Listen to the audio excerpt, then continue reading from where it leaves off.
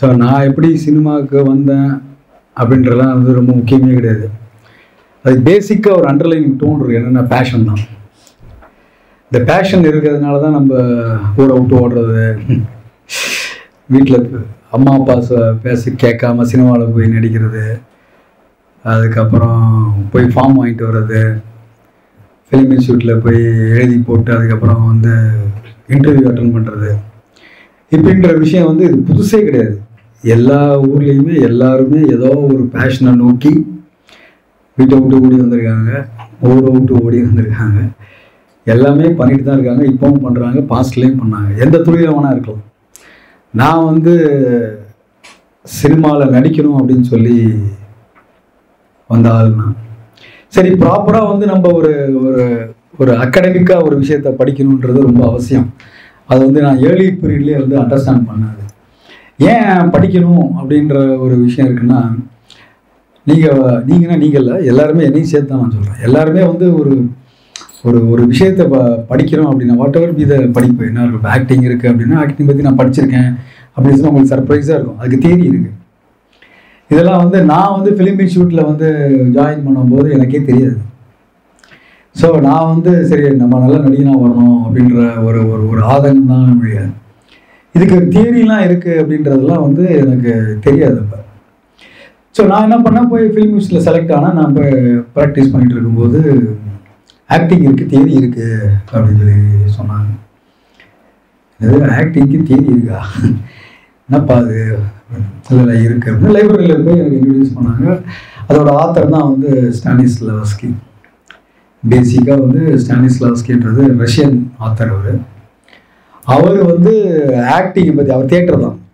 நல்லா நீங்கள் புரிஞ்சுக்கணும் தேட்டர் தேட்டரில் வந்து நடித்து ஒரு கேரக்டர் ஆர்டிஸ்டாக இருந்த ஸ்டானிஸ்லஸ்கி அவர் வந்து ஆக்டிங்கை பற்றி ஒரு பெரிய தீசிஸ் தான். அதாவது தீசிஸ்ன்னு சொன்னால் கூட ஒரு ஒரு தப்பான வார்த்தை. இஸ் எ கிரேட் ஃபிலாசபர் என்னை பொறுத்த வரைக்கும் ஒரு ஒரு ஒரு ஃபிலாசபிக்கல் டெக்ஸ்ட் அது. அவர் அவரோட புஸ்தகங்களோ அவரோட வாழ்வியலோ நீங்கள் படிச்சீங்கன்னா ஒரு பெரிய ஒர்க் ஆஃப் ஆர்ட் அது.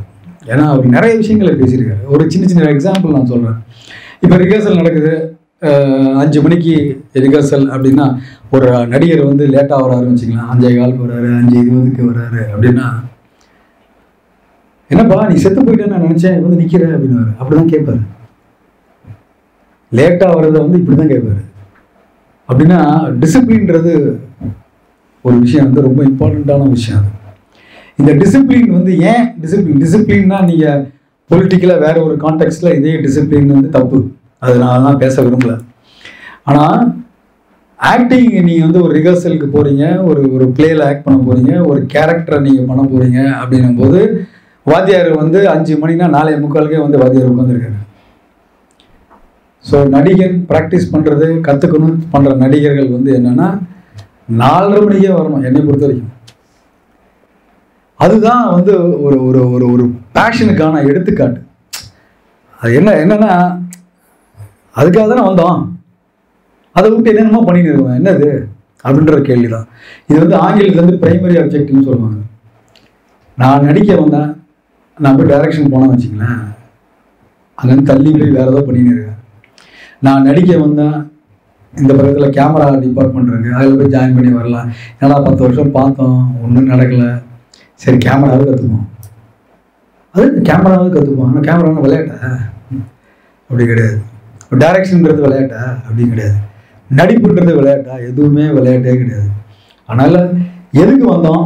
என்ன வேலை செய்யணுன்றது தான் ஃபண்டமெண்டல் கொஸ்டின் இது வந்து சோஷியாலஜியில் நான் சொல்கிறேன் சோஷியல் ஆங்கிளில் ஸோ நான் வந்து ரெண்டாக நான் பிரிக்கிறேன் விஷயத்த. ஒன்று வந்து natural science and social science social science வந்து ரொம்ப ரொம்ப இம்பார்ட்டன்ட் சோஷியல் சயின்ஸில் தான் எல்லாமே வருது. மனிதர்கள் வருவாங்க அவங்களோட படைப்பு வரும் லிட்ரேச்சர் வரும் பெயிண்டிங் வரும் பொலிட்டிக்கல் வியூ பாயிண்ட் வரும்.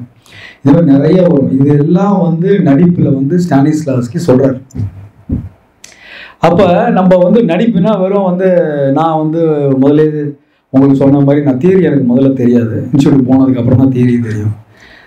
அப்போ வந்து I was influenced by Balaiah பாலையான்னு சொல்லுவார் பாலையா அண்ணன் எம்ஆர் ராதா அண்ணன் SV Ranga Rao our SV Subbaiah NSK the great NSK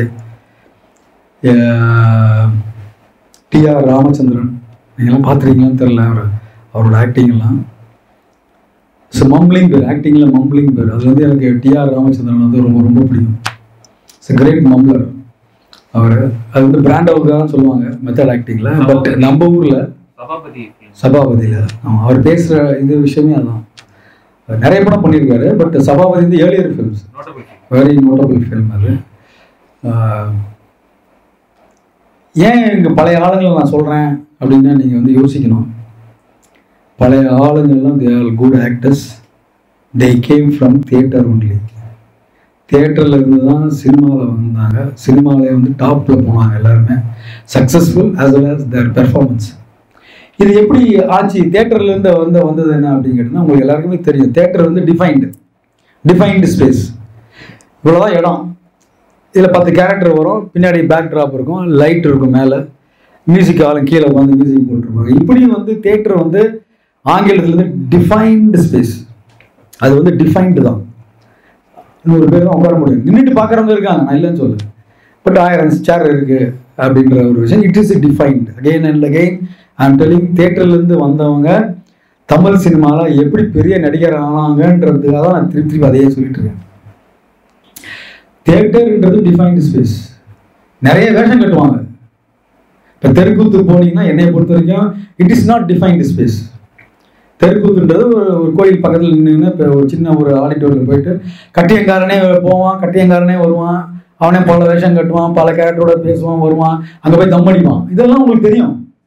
நீங்கள் வந்து உட்காந்து பார்த்தீங்கன்னா அவன் தம் அடிச்சுட்டு பேசிட்டு அவன் வந்து திருப்பி வந்து நடிச்சிட்டு போவான்.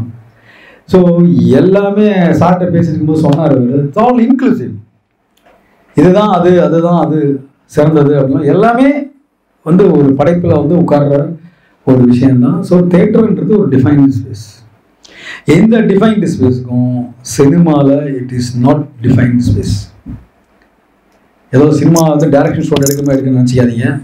என்னன்னா எப்படி சினிமாவை ஹோலிஸ்டிக்காக அண்டர்ஸ்டாண்ட் பண்ணணுன்றது தான் ஃபுல்லாக நீங்கள் சினிமாவை வந்து ஒரு அளவுக்கு அண்டர்ஸ்டாண்ட் பண்ணினா தான் அது வந்து உங்களுக்கு வந்து சினிமாட்டோகிராஃபினா என்ன ஆக்டிங்னா என்ன டைரக்ஷன்னா என்ன மாண்டேஜ்னா என்ன ஐசன்ஸ்டைனோட மாண்டேஜ் டெக்னிக்னா என்ன இப்படி நிறைய இருக்குது இப்போது ஃபிலிம் ஸ்கூலில் வந்து படிச்சிருந்தீங்கன்னா ஃபிலிம் ஸ்கூலில் படித்ததுனால எனக்கு வந்து நியூ சினிமா நியூ ரியலிசமு ஹாலிவுட்டில் வந்து மியூசிக்கல்ஸு சைலண்ட் ஈரா இப்படியான ஒரு விஷயங்கள்லாம் வந்து எனக்கு எக்ஸ்போஷர் கிடைச்சிது. இந்த எக்ஸ்போஷருக்கு வந்து திருப்பி திரும்பி நான் போகிற வந்து நான் ஸ்டானிஸ்லாஸ்க்கு தான் வரேன். ஏன்னா ஸ்டானிஸ்லாஸ்க்கு வந்து இந்த மாதிரி விஷயங்கள்லாம் நிறைய சொல்கிறாரு வாழ்வியலை பற்றி நிறைய சொல்கிறாரு and actors gets maturity at age of forty நாற்பது வயசு ஆனால் நீ நடிக்க வரணும் அப்படின்னு சொல்கிறாரு ஏன்னா நாற்பது வயசில் நம்ம கல்யாணம் பண்ணிப்போம் இல்லை வாழ்க்கையில் தோற்றுருப்போம் இல்லை ஜெயிச்சிருப்போம் கம்பேக் பண்ணியிருப்போம் வீட்டு வாடகை கட்டியிருப்போம் எலக்ட்ரிசிட்டி பில்லு கட்டியிருப்போம் பெட்ரோல் போடுறதுக்கு வண்டி போகிறதுக்கு வண்டி இருக்காது பஸ்ஸில் ஏறி போயிருப்போம் இல்லை ஆட்டோவில் வருவோம். அனுபவம் இருக்குல்ல அனுபவம். பையனுக்கு ஸ்கூல் பையனுக்கு ஃபீஸ் கட்ட முடியாது. வீட்டில் ஒரு ஃபங்க்ஷன் நடக்கும் ஃபங்க்ஷன் காசு இருக்காது மொழி எழுதுறதுக்கு இப்படியான விஷயங்களெல்லாம் அவர் சொல்கிறார் சொல்லிட்டு actors gets maturity at age of forty correct அது. படித்ததுக்கு அப்புறம் தான் நானே உணர்ந்தேன். நான் படிக்கும்போது சின்ன வயசு எனக்கு. அவர் சொன்னது எனக்கு புரிஞ்சுது. ஏன்னா நான் கல்யாணம் பண்ணிட்டு நான் வாழ்க்கையில் நடக்கும்போது நல்லாவே புரிஞ்சுது எனக்கு. நிறைய விஷயங்கள் அவர் சொன்னது. ஏன்னா இன்றைக்கும் வந்து ஸ்டானிஸ்லாஸ்க்கே நான் வந்து ஐ லுக்கிங் பேக் எப்பொழுதுமே ஸ்டானிஸ்லாஸ்க்கு என் பின்னாடி தான் இருக்காரு. எங்கேயுமே என்னை விட்டு அவர் எங்கேயுமே போனதே கிடையாது. ஏன் இதை சொல்கிறேன்னா அவர் முதலே சொல்லிட்டா அவர் ஒரு தத்துவவாதி. தத்துவம் நீங்கள் சொன்னதுக்கப்புறம் வந்து அது அதை பற்றியான நிறைய விவாதங்கள்லாம் வச்சுக்கலாம். அது வேறு. நடிப்பில் வந்து அந்த அளவுக்கு இப்போ ஆக்டிங்னா என்ன அப்படின்னு கேட்டிங்கன்னா அவர் ஒரு டெஃபினேஷன் சொல்கிறாரு தேரிலாம் படிச்சுட்டு வேர்ல்ட் சினிமாலாம் பார்த்துட்டு நான் ஃபிலிம் யூனிவர்சிட்டிலேருந்து பெரிய பெரிய மாஸ்டர்ஸ்லாம் நான் பார்த்துட்டு கொரோனாலஜிக்கல் ஆர்டர் ஆஃப் ஃபில்ம் மேக்கிங்லாம் நான் படித்ததுக்கப்புறம் வந்து நீங்கள் என்னை கேட்டிங்கன்னா நான் ஒன்று சொல்லுவேன். நான் சொல்கிறது ரைட்டா தப்பான்றதுலாம் வேற. என்னோட அனுபவத்தில் நான் சொல்கிறது ஸோ ஒவ்வொரு நடிகனும் நடிப்பை பற்றி நிறைய பேர் பேசியிருக்காங்க.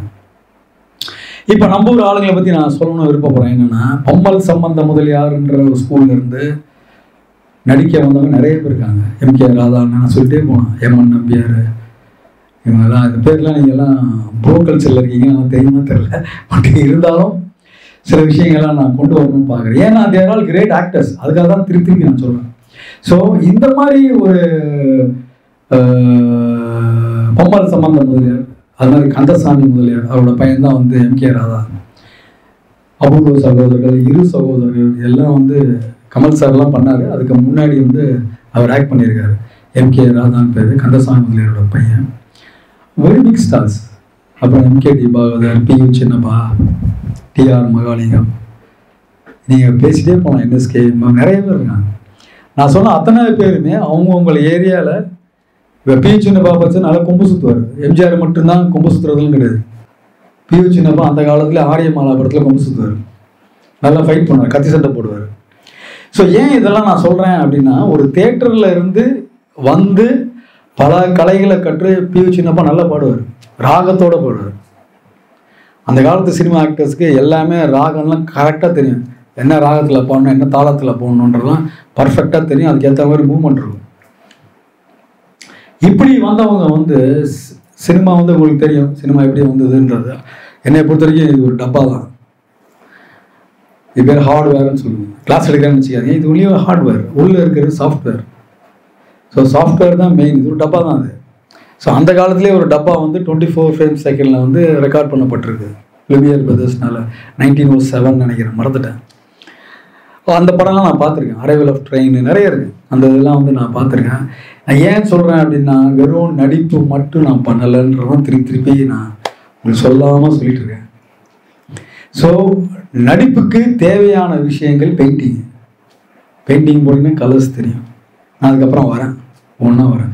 ஸோ இந்த லுமியர் பிரதர்ஸ் இந்த டப்பா வச்சுட்டு கேமரா வந்து வந்து ஆப்ரேட் பண்ணுறது ஸோ இட்ஸ் ஹார்ட்வேர் அண்ட் உள்ளுக்குள்ள ஃபில்ம் வந்து twenty four frames per second போகும் ஃபில்ம் இருக்கிறதுனால it is called nitrate base அந்த காலத்தில். அதான் ப்ராசஸிங் இருந்தது. அந்த காலத்தில் இப்போ இல்லை.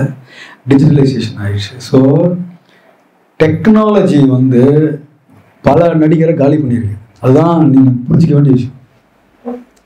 ஸோ சைலண்ட் ஈராவில் வந்து சார்லி சாப்ளின் பெரிய இது நிறைய பேர் இருந்தாங்க. ஒரு லேடி ஆர்டிஸ்ட் பேர்லாம் சொல்கிறோம் அவங்களுக்கு அவங்க பஸ்டர் கிட்ட இருந்தார் கான்டெம்பரரி மேரி பிக் ஃபோல்டு இவங்கெல்லாம் வந்து சைலண்ட் ஈராவில் பெரிய ஸ்டார்ஸ் நைன்டீன் டுவெண்ட்டி எயிட்டில் சவுண்டு கண்டுபிடிக்கிறாங்க. சவுண்டு வந்தவுடனே சாப்ளின் வாய்ஸு கிரீதா கார்போ அது ஆக்ட்ரஸ் பேர். இவங்க ரெண்டு பேர் தான் சர்வைவ் ஆகி சூப்பர் ஸ்டார் ஆனாங்க. ஏன் அப்படின்னா வாய்ஸ் தான். சவுண்டுன்னு வரும்பொழுது நைன்டீன் டுவெண்ட்டி எயிட்டில் சவுண்டு உள்ளே கொண்டு வரும்போது ஒரு ஃபெட் ஆஸ்ட்ரேவோட வாய்ஸ் ஃபெட் ஆஸ்ட்ன்ற இவர் அவரோட வாய்ஸும் சரியில்லை. மேரி பிஃபோர் வாய்ஸும் சரியில்லை. ஸோ சாப்ளின்னு கிரீதா கார்போ வாய்ஸ் மட்டும்தான் கரெக்டாக இருக்குது கரெக்டாக வாய்ஸ் நல்லா இருக்குது மாடுலேஷன் ஸோ அவங்க வந்து அவங்க காலகட்டத்தில் பெருசாக பிரதிபலிப்பு பண்ணுவாங்க. இது என்ன நீங்கள் கற்றுக்கணும் அப்படின்னா இப்போவும் அதான் அதான் உண்மை. என்னென்னா அனலாக் சிஸ்டத்துலேருந்து டிஜிட்டல் சிஸ்டத்தில் வந்துட்டோம்.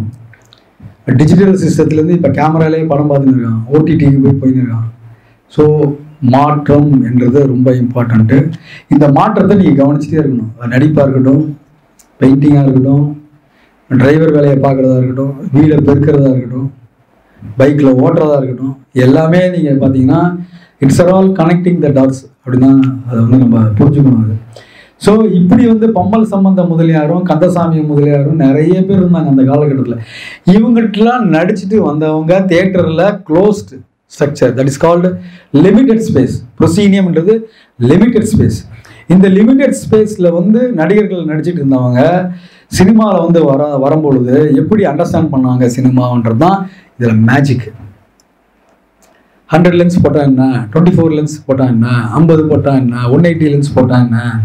எப்படின்ற விஷயத்தை எல்லாம் வந்து அவங்க கற்றுக்கிட்டாங்க க்ளோஸ்அப்பில் வந்து தியேட்டரில் கத்துற மாதிரி யாரும் மேக்கப் போட்டுலாம் கற்ற முடியாது. ஸோ க்ளோஸ்அப்ன்றது இவ்வளோதான் இந்த க்ளோஸ்அப்பில் என்ன டேரக்டர் கேட்குறாரு நீங்கள் என்ன கேரக்டர் பண்ணுறீங்க நீங்கள் என்ன அட்டையர் போட்டிருக்கீங்க? என்ன பேக் ட்ராப் இருக்குது இதெல்லாம் வருமா வராதா? அப்படின்னு நீ கேட்கணும் கேமராமேன் எது வரைக்கும் வருது சார் ஒன்றும் இல்லை சார் உங்கள் ஃபேஸ் மட்டும்தான் வருது அப்படின்னா நான் இந்த ஃபேஸில் எக்ஸ்பிரஷன் பண்ணணும். இட்ஸ் கால்டு ஃபிசியோகனமி அது ஃபேஸ்னு பேர். ஃபிசியோகனமினா எக்ஸ்பிரஷன் ஸோ சாரி எந்த ஒரு எக்ஸ்பிரஷனை வந்து க்ளோஸ்அப்பில் நடிக்கிற நடிகர்கள் வந்து பாலையா அண்ணா நடிச்சிருக்காரு எம் ஆர் ராதா அண்ணா நடிச்சிருக்காரு இந்த கிரேட் சிவாஜி சார் நடிச்சிருக்காரு. நான் சொல்லியே போனேன் கேடி பாலகரை பற்றி சொன்னேன் டிஆர் ராமலிங்கத்தை பற்றி சொன்னேன் டிஆர் ராமச்சந்திரனை பற்றி சொன்னேன் என்எஸ்கேயை பற்றியும் சொன்னேன் எஸ்பி ரங்கராவ். எனக்கு பிடிச்ச one of the best actors அவர் தான் நான் ஏன் இதெல்லாம் சொல்கிறேன்னா ஸ்டானிஸ்லாஸ்கி நான் படிச்சுட்டு இந்த பழைய படங்கள்லாம் என் என் என் பீரியடில் அந்த ஆக்டர்ஸ் எல்லாம் நான் எனக்கு முன்னாடியே வந்துட்டாங்க அவங்க. நான் பார்க்கும்போது என்னோடய யூத்தில் நான் பார்க்கும்பொழுது என்னவா அது? நம்ம வந்து சனிஸ்லாஸ்கி இந்த மெத்தவுட் மேட்னஸ்ன்றான் மாலன் பிராண்டோன்றான். நம்ம ஊரில் இதெல்லாம் பண்ணுறாங்களே எப்படி இதெல்லாம் பண்ணாங்க அப்படின்ற ஒரு விஷயத்த தான் நம்ம தெளிவாக புரிஞ்சுக்கணும்.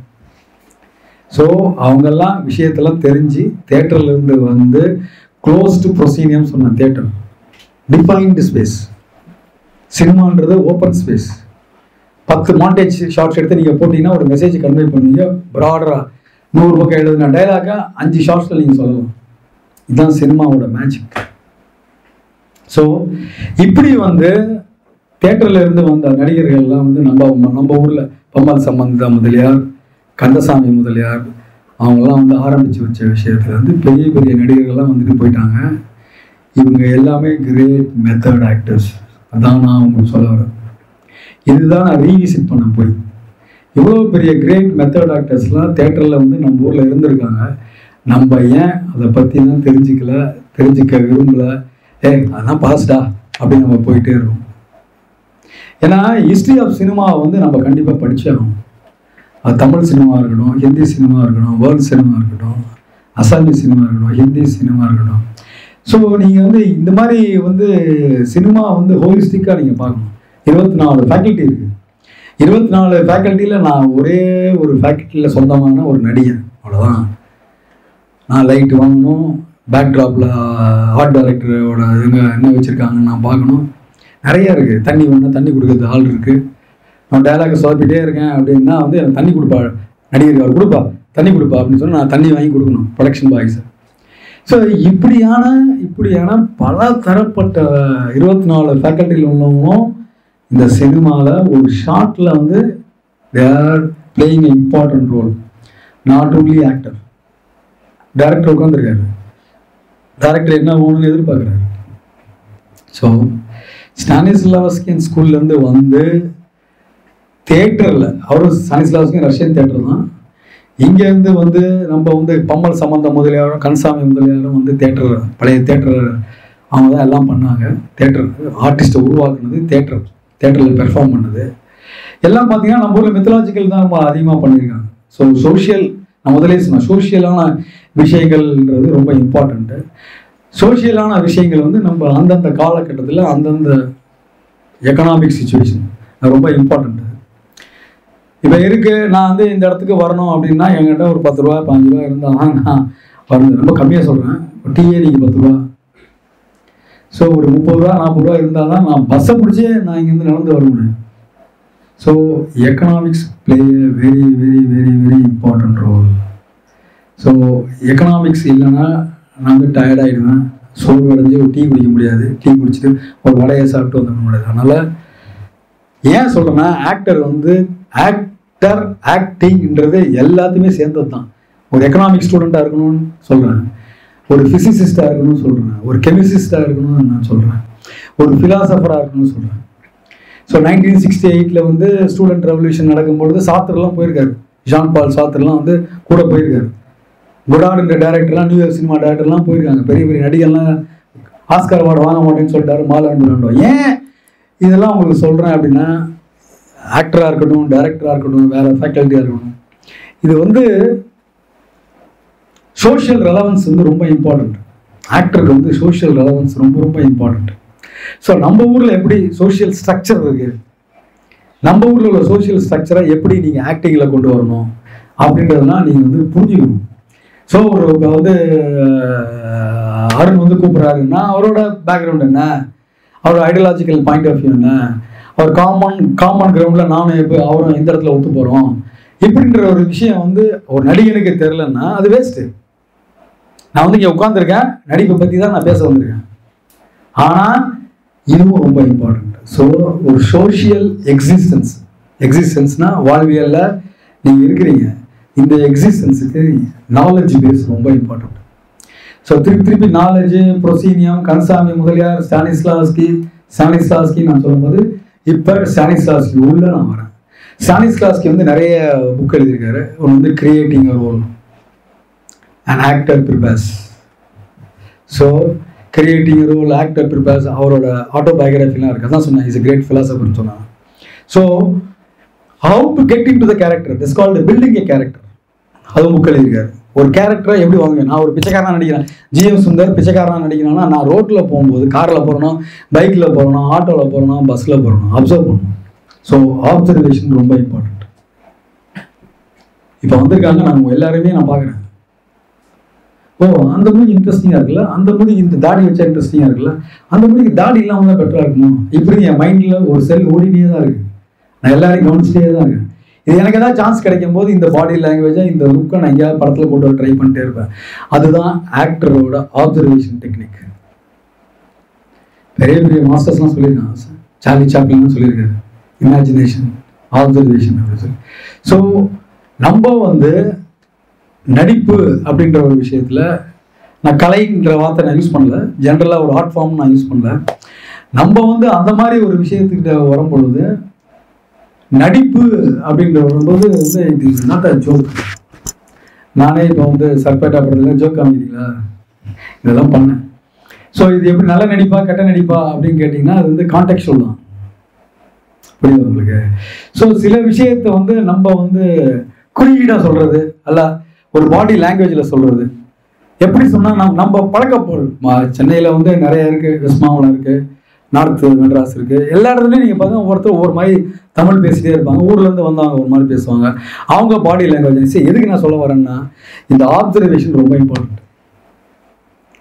அதுக்கப்புறம் ரிட்டன்ஷன் சொல்கிறோம் ரிட்டன்ஷன் எப்படி நான் வச்சுப்பேன்?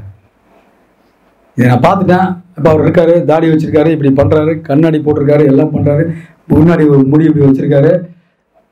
இதை நான் எப்படி ரெப்ளிகா பண்ண முடியும்? இட்ஸ் கால் ரிட்டன்ஷன் இங்கிலீஷில். ரிட்டன்ஷனை ஞாபகத்தில் வச்சுக்கணும். இட்ஸ் கால் இமோஷனல் மெமரி அப்படின்னு ஸ்டானிஸ்லாஸ்க்கு சொல்கிறார் வாட் இஸ் இமோஷனல் மெமரி அப்படின்னு கேட்டிங்கன்னா உங்கள் வாழ்க்கையில் நீங்கள் பார்த்த சம்பவம் நல்லது கெட்டது சுமாரான சம்பவம் எல்லாமே எது வேணால் சொல்லுங்கள் சண்டை வீட்டில் சண்டை வெளியில் சண்டை நட்பு புரிதல் வாட் எவர் இட் இஸ் எல்லாமே வந்து ஒரு நடிகனுக்கு வந்து ஃபிங்கர் டிப்ஸில் இருக்கணும். அதுதான் அவர் வந்து இமோஷ்னல் மெமரி அப்படின்னு சொல்கிறாரு இந்த இமோஷ்னல் மெமரி ரொம்ப இம்பார்ட்டண்ட் இப்போ வந்து எனக்கு ஒரு சோகமான சீன் வருது அப்படின்னா என் வாழ்க்கையில் நடந்த ஒரு சோகமான சீன் இல்லை நான் ரோட்டில் போகும்போது நடக்கிற ஒரு சோகமான சீன் இல்லை என் ஃப்ரெண்டுக்கு நடந்த சோகமான சீன்லாம் நான் கேள்விப்பட்டு வந்து நான் இந்த ஃபிங்கர் டிப்ஸ் பேர் தான் இமோஷனல் மெமரின்னு பேர். இந்த இமோஷனல் மெமரியை நான் டேப் பண்ணோம்னா எனக்கு அந்த மாதிரி ஒரு இந்த மாதிரி அழுகணும் ஐயோ இந்த கேரக்டர் இப்படி அழுகணும் அப்படின்போ அதுக்கேற்ற மாதிரி நான் மாற்றி நான் வந்து அழுவேன். என்னோட கம்பேக் ஃபிலிம் வந்து காதலும் கலந்து போகும். இதில் பார்த்தீங்கன்னா திடீர்னு திடீர்னு வந்து டேரக்டர் வந்து நீங்கள் சிவாஜி சார் மாதிரி நடங்க அப்படின்ட்டார். விஜய் சேதுபதி சார் என்ன சொன்னார்னா நான் திருவிளையாடல் பார்த்தேன் நேற்று நைட்டு தான். பார்த்துட்டு அதில் சுந்தர நான் நடக்க விட்டா நல்லா இருக்குமே அப்படின்னாரு. இதெல்லாம் வந்து என்ன நடந்ததுன்ற நான் சொல்கிறேன் ஸோ அப்புறம் வந்து உடனே டேரக்டர் போய் நலன் குமாரசாமி வந்து போயிட்டு கேசட் வாங்கிட்டு வாங்க திருவிளையாடல் கேசட் வாங்கிட்டு வாங்க அப்படின்னு சொல்லி திருவிழாவில் கேசட் வந்து நீங்கள் பார்க்குறீங்களான்னு நான் பார்க்க மாட்டேன். என்னங்க சிவா சார் நடக்குறாங்க நான் எட்டாம் கிளாஸ்லேருந்து இதான் பண்ணிட்டு இருந்தேன் எட்டாம் கிளாஸ்லேருந்து இதான் எனக்கு வேலையே அப்படின்னு. இது என்னோட டிஎன்ஏலே இருக்குது நீங்கள் கேமரா ஆன் பண்ணி நான் பண்ணுறேன் அப்படின்னு. ஏன் இதை நான் சொல்கிறேன் அப்படின்னா நான் எட்டு வயசில் போட்ட விதை தான் அது. அப்போ சிவாஜி சாரோட பலவிதமான நடையெல்லாம் நான் வந்து நான் நடந்திருக்கேன். நடந்து ஒரு நடிகன் ஆகணும்னு சொல்லிட்டு நடிகன் ஆகி உங்க முன்னாடி வந்து உட்காந்துருக்கேன் தேங்க்யூ தேங்க்யூ ஸோ ஏன் இதை நான் சொல்கிறேன் அப்படின்னா ஏதோ எட்டாம் கிளாஸ் படிக்கும்போது ஒரு ஒரு எல்லாரும் சிவாஜி சார் டைலாக் பேசுவாங்க நடப்பாங்க அப்படின்ற ஒரு விஷயம் இல்லை அது. ஜிஎம் சுந்தரை பொறுத்த வரைக்கும் அது வந்து ஒரு ஒரு- என்ன சொல்கிறது அது ஒரு தேடல் அது ஒரு ஒரு நிலை. அது வந்து ஒரு ஹையஸ்ட் ஃபார்ம் நான் வந்து சின்சியராக நான் பண்ணியிருக்கேன் எட்டாம் கிளாஸ் படிக்கும்போது. அந்த சின்சியாரிட்டி கிடைச்ச இதுதான் வந்து நான் காதலும் கடந்து போகல என்னோட கம்பேக் ஃபிலிமில் நலன் டேரக்டர் நலன் வந்து இந்த மாதிரி நலன் சொல்லும்போது I simply cried you won't believe அந்த ஷார்ட் முடிஞ்சு தனியாக போய் அழுதுட்டு இருந்தேன். இதெல்லாம் ஏன் நான் சொல்கிறேன் அப்படின்னா நம்ம அன்னைக்கு போட்ட விதை அது. அன்னைக்கு போட்ட ஒரு ஒரு ஒரு விஷயம் அது. அது வந்து எனக்கு நடக்கிறதுக்கு முப்பது வருஷம் கழிச்சு நடக்குது. அதனால் மனசை தளர்வதே விடாதீங்க. இன்னைக்கு இல்லை நாளைக்கு ஜெயிப்பீங்க. நாளைக்கு இல்லை நாளைக்கு ஜெயிப்பீங்க. இந்த உட்காந்துருக்கேன் அதனால இது வந்து ஒரு நடிகனா எல்லாருனாலும் ஜெயிக்க முடியும். இன்னைக்கு வந்து ஒரு விஷயத்தினால வந்து அவர் வேஸ்ட்டுங்க அப்படின்னு சொல்லலாம். ஆனால் பத்து வருஷத்துக்கு அப்புறம் இப்போ வந்து யங்ஸ்டர் ஆகி அவங்க வந்து இந்த நல்லா நடிக்கிறான்டா அவன் கூப்பிடுறா அப்படின்னு கூப்பிட்டவர் தான் நலன் குமாரசாமி எனக்கு. ஸோ இதெல்லாம் நான் ஏன் சொல்கிறேன் அப்படின்னு கேட்டிங்கன்னா நம்ம வந்து நடிப்பை வந்து எந்த அளவுக்கு நம்ம உள் வாங்கியிருக்கோன்ற விஷயம் தான் இப்போ திருப்பி நான் ஸ்டானிஸ்லாஸ்கி வரேன். ஸோ நான் வந்து உங்கள்ட்ட வந்து என்னோட எக்ஸ்பீரியன்ஸையும் சொல்கிறேன் ஸ்டானிஸ்லாஸ்கையும் சொல்கிறேன் தமிழ்நாடு நடந்த அந்த தேட்டரோட இதை நான் எல்லாத்தையுமே மிங்கிள் பண்ணி மிங்கிள் பண்ணி சொல்கிறேன் ஒரு ஆர்டரில் நான் சொல்லவே இல்லை. ஸோ இப்படி இருக்கும்போது ஸ்டானிஸ்லாஸ்க்கு இமோஷனல் மெமரின்னு சொன்னேன் ஆப்சர்வேஷன் நான் சொன்னேன் இமேஜினேஷன் நான் ஒன்று சொன்னேன். இமேஜினேஷன் ரொம்ப இம்பார்ட்டன்ட் ஆக்டருக்கு அந்த இமேஜினேஷன் வேர்டு தான் இஃப் ஸ்டானிஸ்லாஸ்கி சொல்லுவார். எல்லாருமே இங்கிலீஷ் தெரியும் ஓரளவுக்கு இஃப் ஆனால் ஸ்டானிஸ்லாஸ்கி இந்த இஃப் மேஜிக் இஃப் அப்படின்னு சொல்லுவார். வாட் இஸ் மேஜிக் இஃப் இஃப்னா என்ன? நான் இந்த புஸ்தகமா இருந்தால் என்ன பண்ணுவேன்? இதான் மேஜிக் இஃப் அப்பா நீ புஸ்தகமாக நடிக்கிற? சரியலிஸ்டிக்காக இருக்கலாம் நான் சொல்கிறது அப்பா நீ தான் நீ இந்த புஸ்தகம் கேரக்டர் பண்ணுற நீ வந்து இப்போ நீ அப்படின்னா எனக்கு இமேஜினேஷன் வேணும். நான் என்னென்ன புஸ்தகம்லாம் படித்தேன் எத்தனை எத்தனை புஸ்தகத்தெல்லாம் நான் தொட்டிருக்கேன்னு எனக்கு தெரியும் நான் எப்படி மாற முடியும் அப்படின்றது? எப்படி சார் நான் ஆக்கிற? மாறு. அதான் சயின்ஸ் கிளாஸ் சொல்ல நீ மாறு. இந்த புஸ்தகமாக மாறுன்னு தான் சொல்கிறாரு so it's called improvisation observation retention imagination emotional memory and improvisation GM Sundar இந்த புஸ்தகத்தை எடுக்கிறாரு. அவர் என்ன பண்ணுறாரு இந்த புஸ்தகம் தான் அது. அதை படிக்கலாம். ஏய் சொல்லினே இருக்கேன் கேட்கலாம் உனக்கு நான் தூக்கி அடிக்கலாம். இப்படி சொரிஞ்சிக்கலாம் ம் அப்புறம் சொல்லுப்பா. ஆ என்ன? ஸோ இதை வச்சு என்ன இம்ப்ரைஸ் பண்ணுவீங்கன்றோம் ஸோ வெறும் படிக்கிற பொருள் மட்டும் இல்லை அது. ஸோ ஆக்டருக்கு இமேஜினேஷன் ஒன்று இந்த புத்தகத்தை வச்சு என்னென்னலாம் பண்ணுவ நீ? அதுதான் இமேஜினேஷன் அதுதான் ரிட்டன்ஷனு அதுதான் வந்து இம்ப்ரவைசேஷன் ஸோ இப்படி ஒரு நாலு டாப்பிக்கை மட்டும் நான் உங்களுக்கு சொல்லி இம்பார்ட்டன்ட் டாபிக் தான் அது. நிறைய இருக்குது building a கேரக்டர்னா how getting in the character so இந்த மாதிரி ஒரு பேசிக் விஷயத்தெல்லாம் நான் ஆஸ் அன் ஆக்டராக வந்து தேரிட்டிக்கல் பேஸோட வேர்ல்டு சினிமா எல்லாம் எக்ஸ்போஷர் ஆனதுனால நமக்கு நிறைய விஷயங்கள் இருக்குது. எக்ஸாம்பிள் வந்து நான் இன்ஸ்டியூட்டில் ஃபஸ்ட்டு போய் ஜாயின் பண்ணும்போது எனக்கு அஹ், ரோஷமான் கேட்டு போட்டாங்க. ஃபஸ்ட்டு சாட்டர்டே நான் இன்ஸ்டியூட்டில் படி ஜாயின் பண்ணும்போது. பார்த்துட்டு ரோஷமான் கேட் நான் பார்க்குறேன். பார்த்துட்டு வெளில வந்துட்டேன். வந்துட்டு யார்கிட்டயுமே பேசலை. தொசிலோ மாஃபினேன்னு ஒரு ஆக்டர் யாருமே எங்கடா இருந்தேன் இவ்வளோ வருஷம் நமக்கு தெரியவே இல்லை. நான் ஆக்ட் பண்ணுறான் இவனெல்லாம் ஏன்டா நமக்கு தெரியல? ஏன் நமக்கு எக்ஸ்போஷர் இல்லை? இதெல்லாம் ஏன் நமக்கு சொல்லலை? அப்படியே ரெண்டு நாள் தூங்கல. Such a greatest actor Toshiro Mifune கொரசோவோட பன்னெண்டு பதிமூணு படம் பண்ணியிருக்காரு. ஏன் இதை நான் சொல்கிறேன்னா நம்ம ஊர்லேயும் அந்த மாதிரி பேர் அந்த மாதிரி ஆக்டர்லாம் இருக்காங்க. இன்ஸ்டியூட்டுக்கு போனதுக்கப்புறம் இன்டர்நேஷ்னல் ஆக்டர்ஸ் கிளாஸ் கின்ஸ்கின்னு ஒரு ஆக்டர் இருக்கார் ஜெர்மனில் fantastic actor Aguirre the wrath of God. Director பேர் ஞாபகம் அவரு? ஆ. ஆ அவர். ஸோ இதே நீங்கள் அப்புறம் ஹங்கேரியன் ஆக்டர் ஒருத்தர் இருக்கார் கிளாஸ் மரியா பிளாந்தர் அப்படின்னு. அதுக்கப்புறம் ஹாலிவுட்டில் எனக்கு ரொம்ப பிடிச்ச ஜேம்ஸ் கேக்னின்னு பிளாக் அண்ட் ஒயிட்டில் ஒரு ஆக்டர் ஜேம்ஸ் கேக்னி. குள்ளமாக தான் இருப்பார். ஃபேண்டாஸ்டிக் ஆக்டர் கால் மால்டன் எல்லாமே மெத்தட் ஸ்கூல் நம்ம சொல் இப்போ சொல்ல போகிறது எல்லாமே மெத்தட் ஆக்டிங் ப்ராக்டிஸ் பண்ண Karl Malden Lee J Cobb Marlon Brando Paul Newman Robert hero Al Pacino you name it. There are great actors were at that time. Lee ஜெக்காப்னு ஒரு good the bad டாக்லிலாம் பார்த்துருப்பீங்க.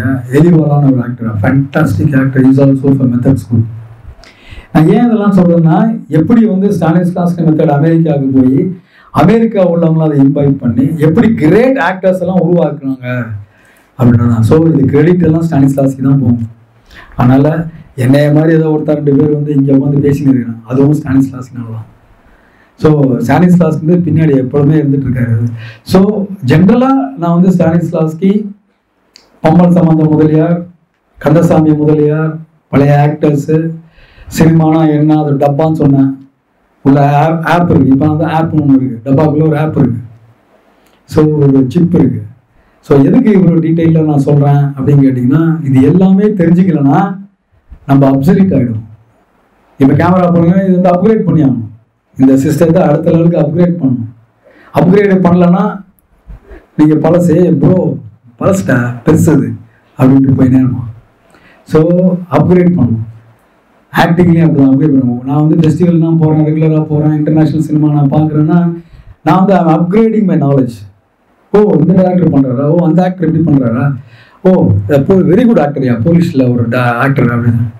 So நீங்கள் வந்து France ஃப்ரெஞ்சில் நிறைய actor இருக்காங்க பெரிய பெரிய நடிகர்லாம் இருக்கும் நீங்கள் சொல்லினே போகலாம் ஸோ இதை வந்து நான் வந்து ஒரு ஷார்ட்டாக இதை முடிச்சுட்டு என்னோட ஜேர்னியோட ஒரு சின்ன ஒரு கிளிம்ஸு ஸ்டானிஸ்லாஸ்கி அதுக்கப்புறம் இமேஜினேஷன் மெமரிச்சி இதெல்லாம் நிறைய வந்து உங்களுக்கு சொன்னேன். கேமராவை பற்றியும் நான் சொன்னது நம்ம வந்து நீங்கள் கேள்வி பதில் வந்து நிறைய நான் சொல்லித்தரேன். பட் நான் உங்களுக்கு சொன்னது இவ்வளோதான் நீங்கள் எவ்வளோவுக்கு எவ்வளோ இன்ட்ராக்டிவாக கேள்வி கேட்குறீங்களோ அவ்வளவுக்கு அவ்வளவு நான் வந்து எனக்கு உள்ளதெல்லாம் உங்களுக்கு சொல்லிட்டு போயிருந்தேன் so let start interactive sessions நீங்கள் என்ன கேட்குறீங்க கேளுங்க.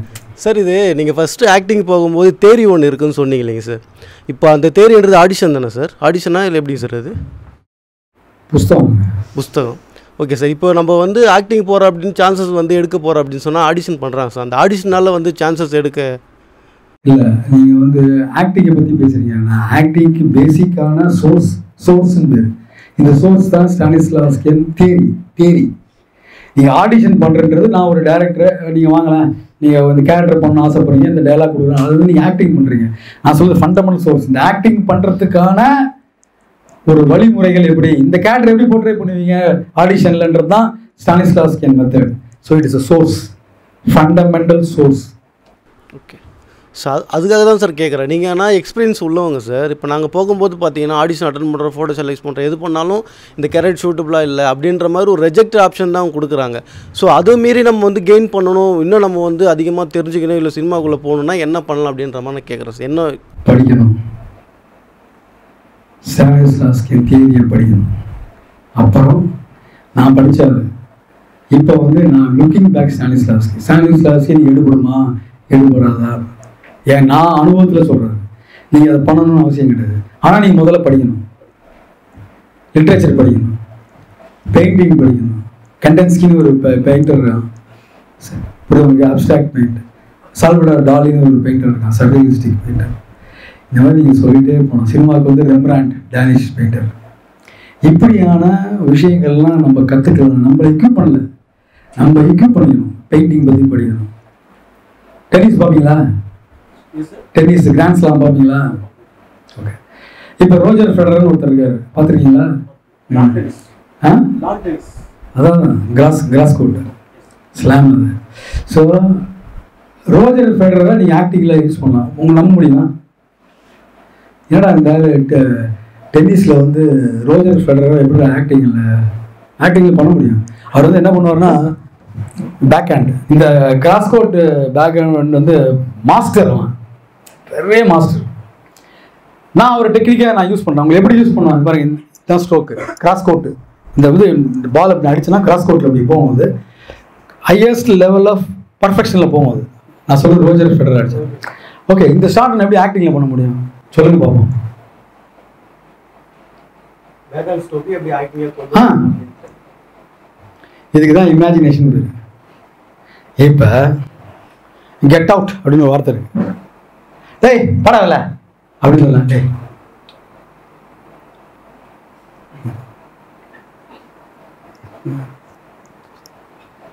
அப்போ சொல்லுங்க சார்.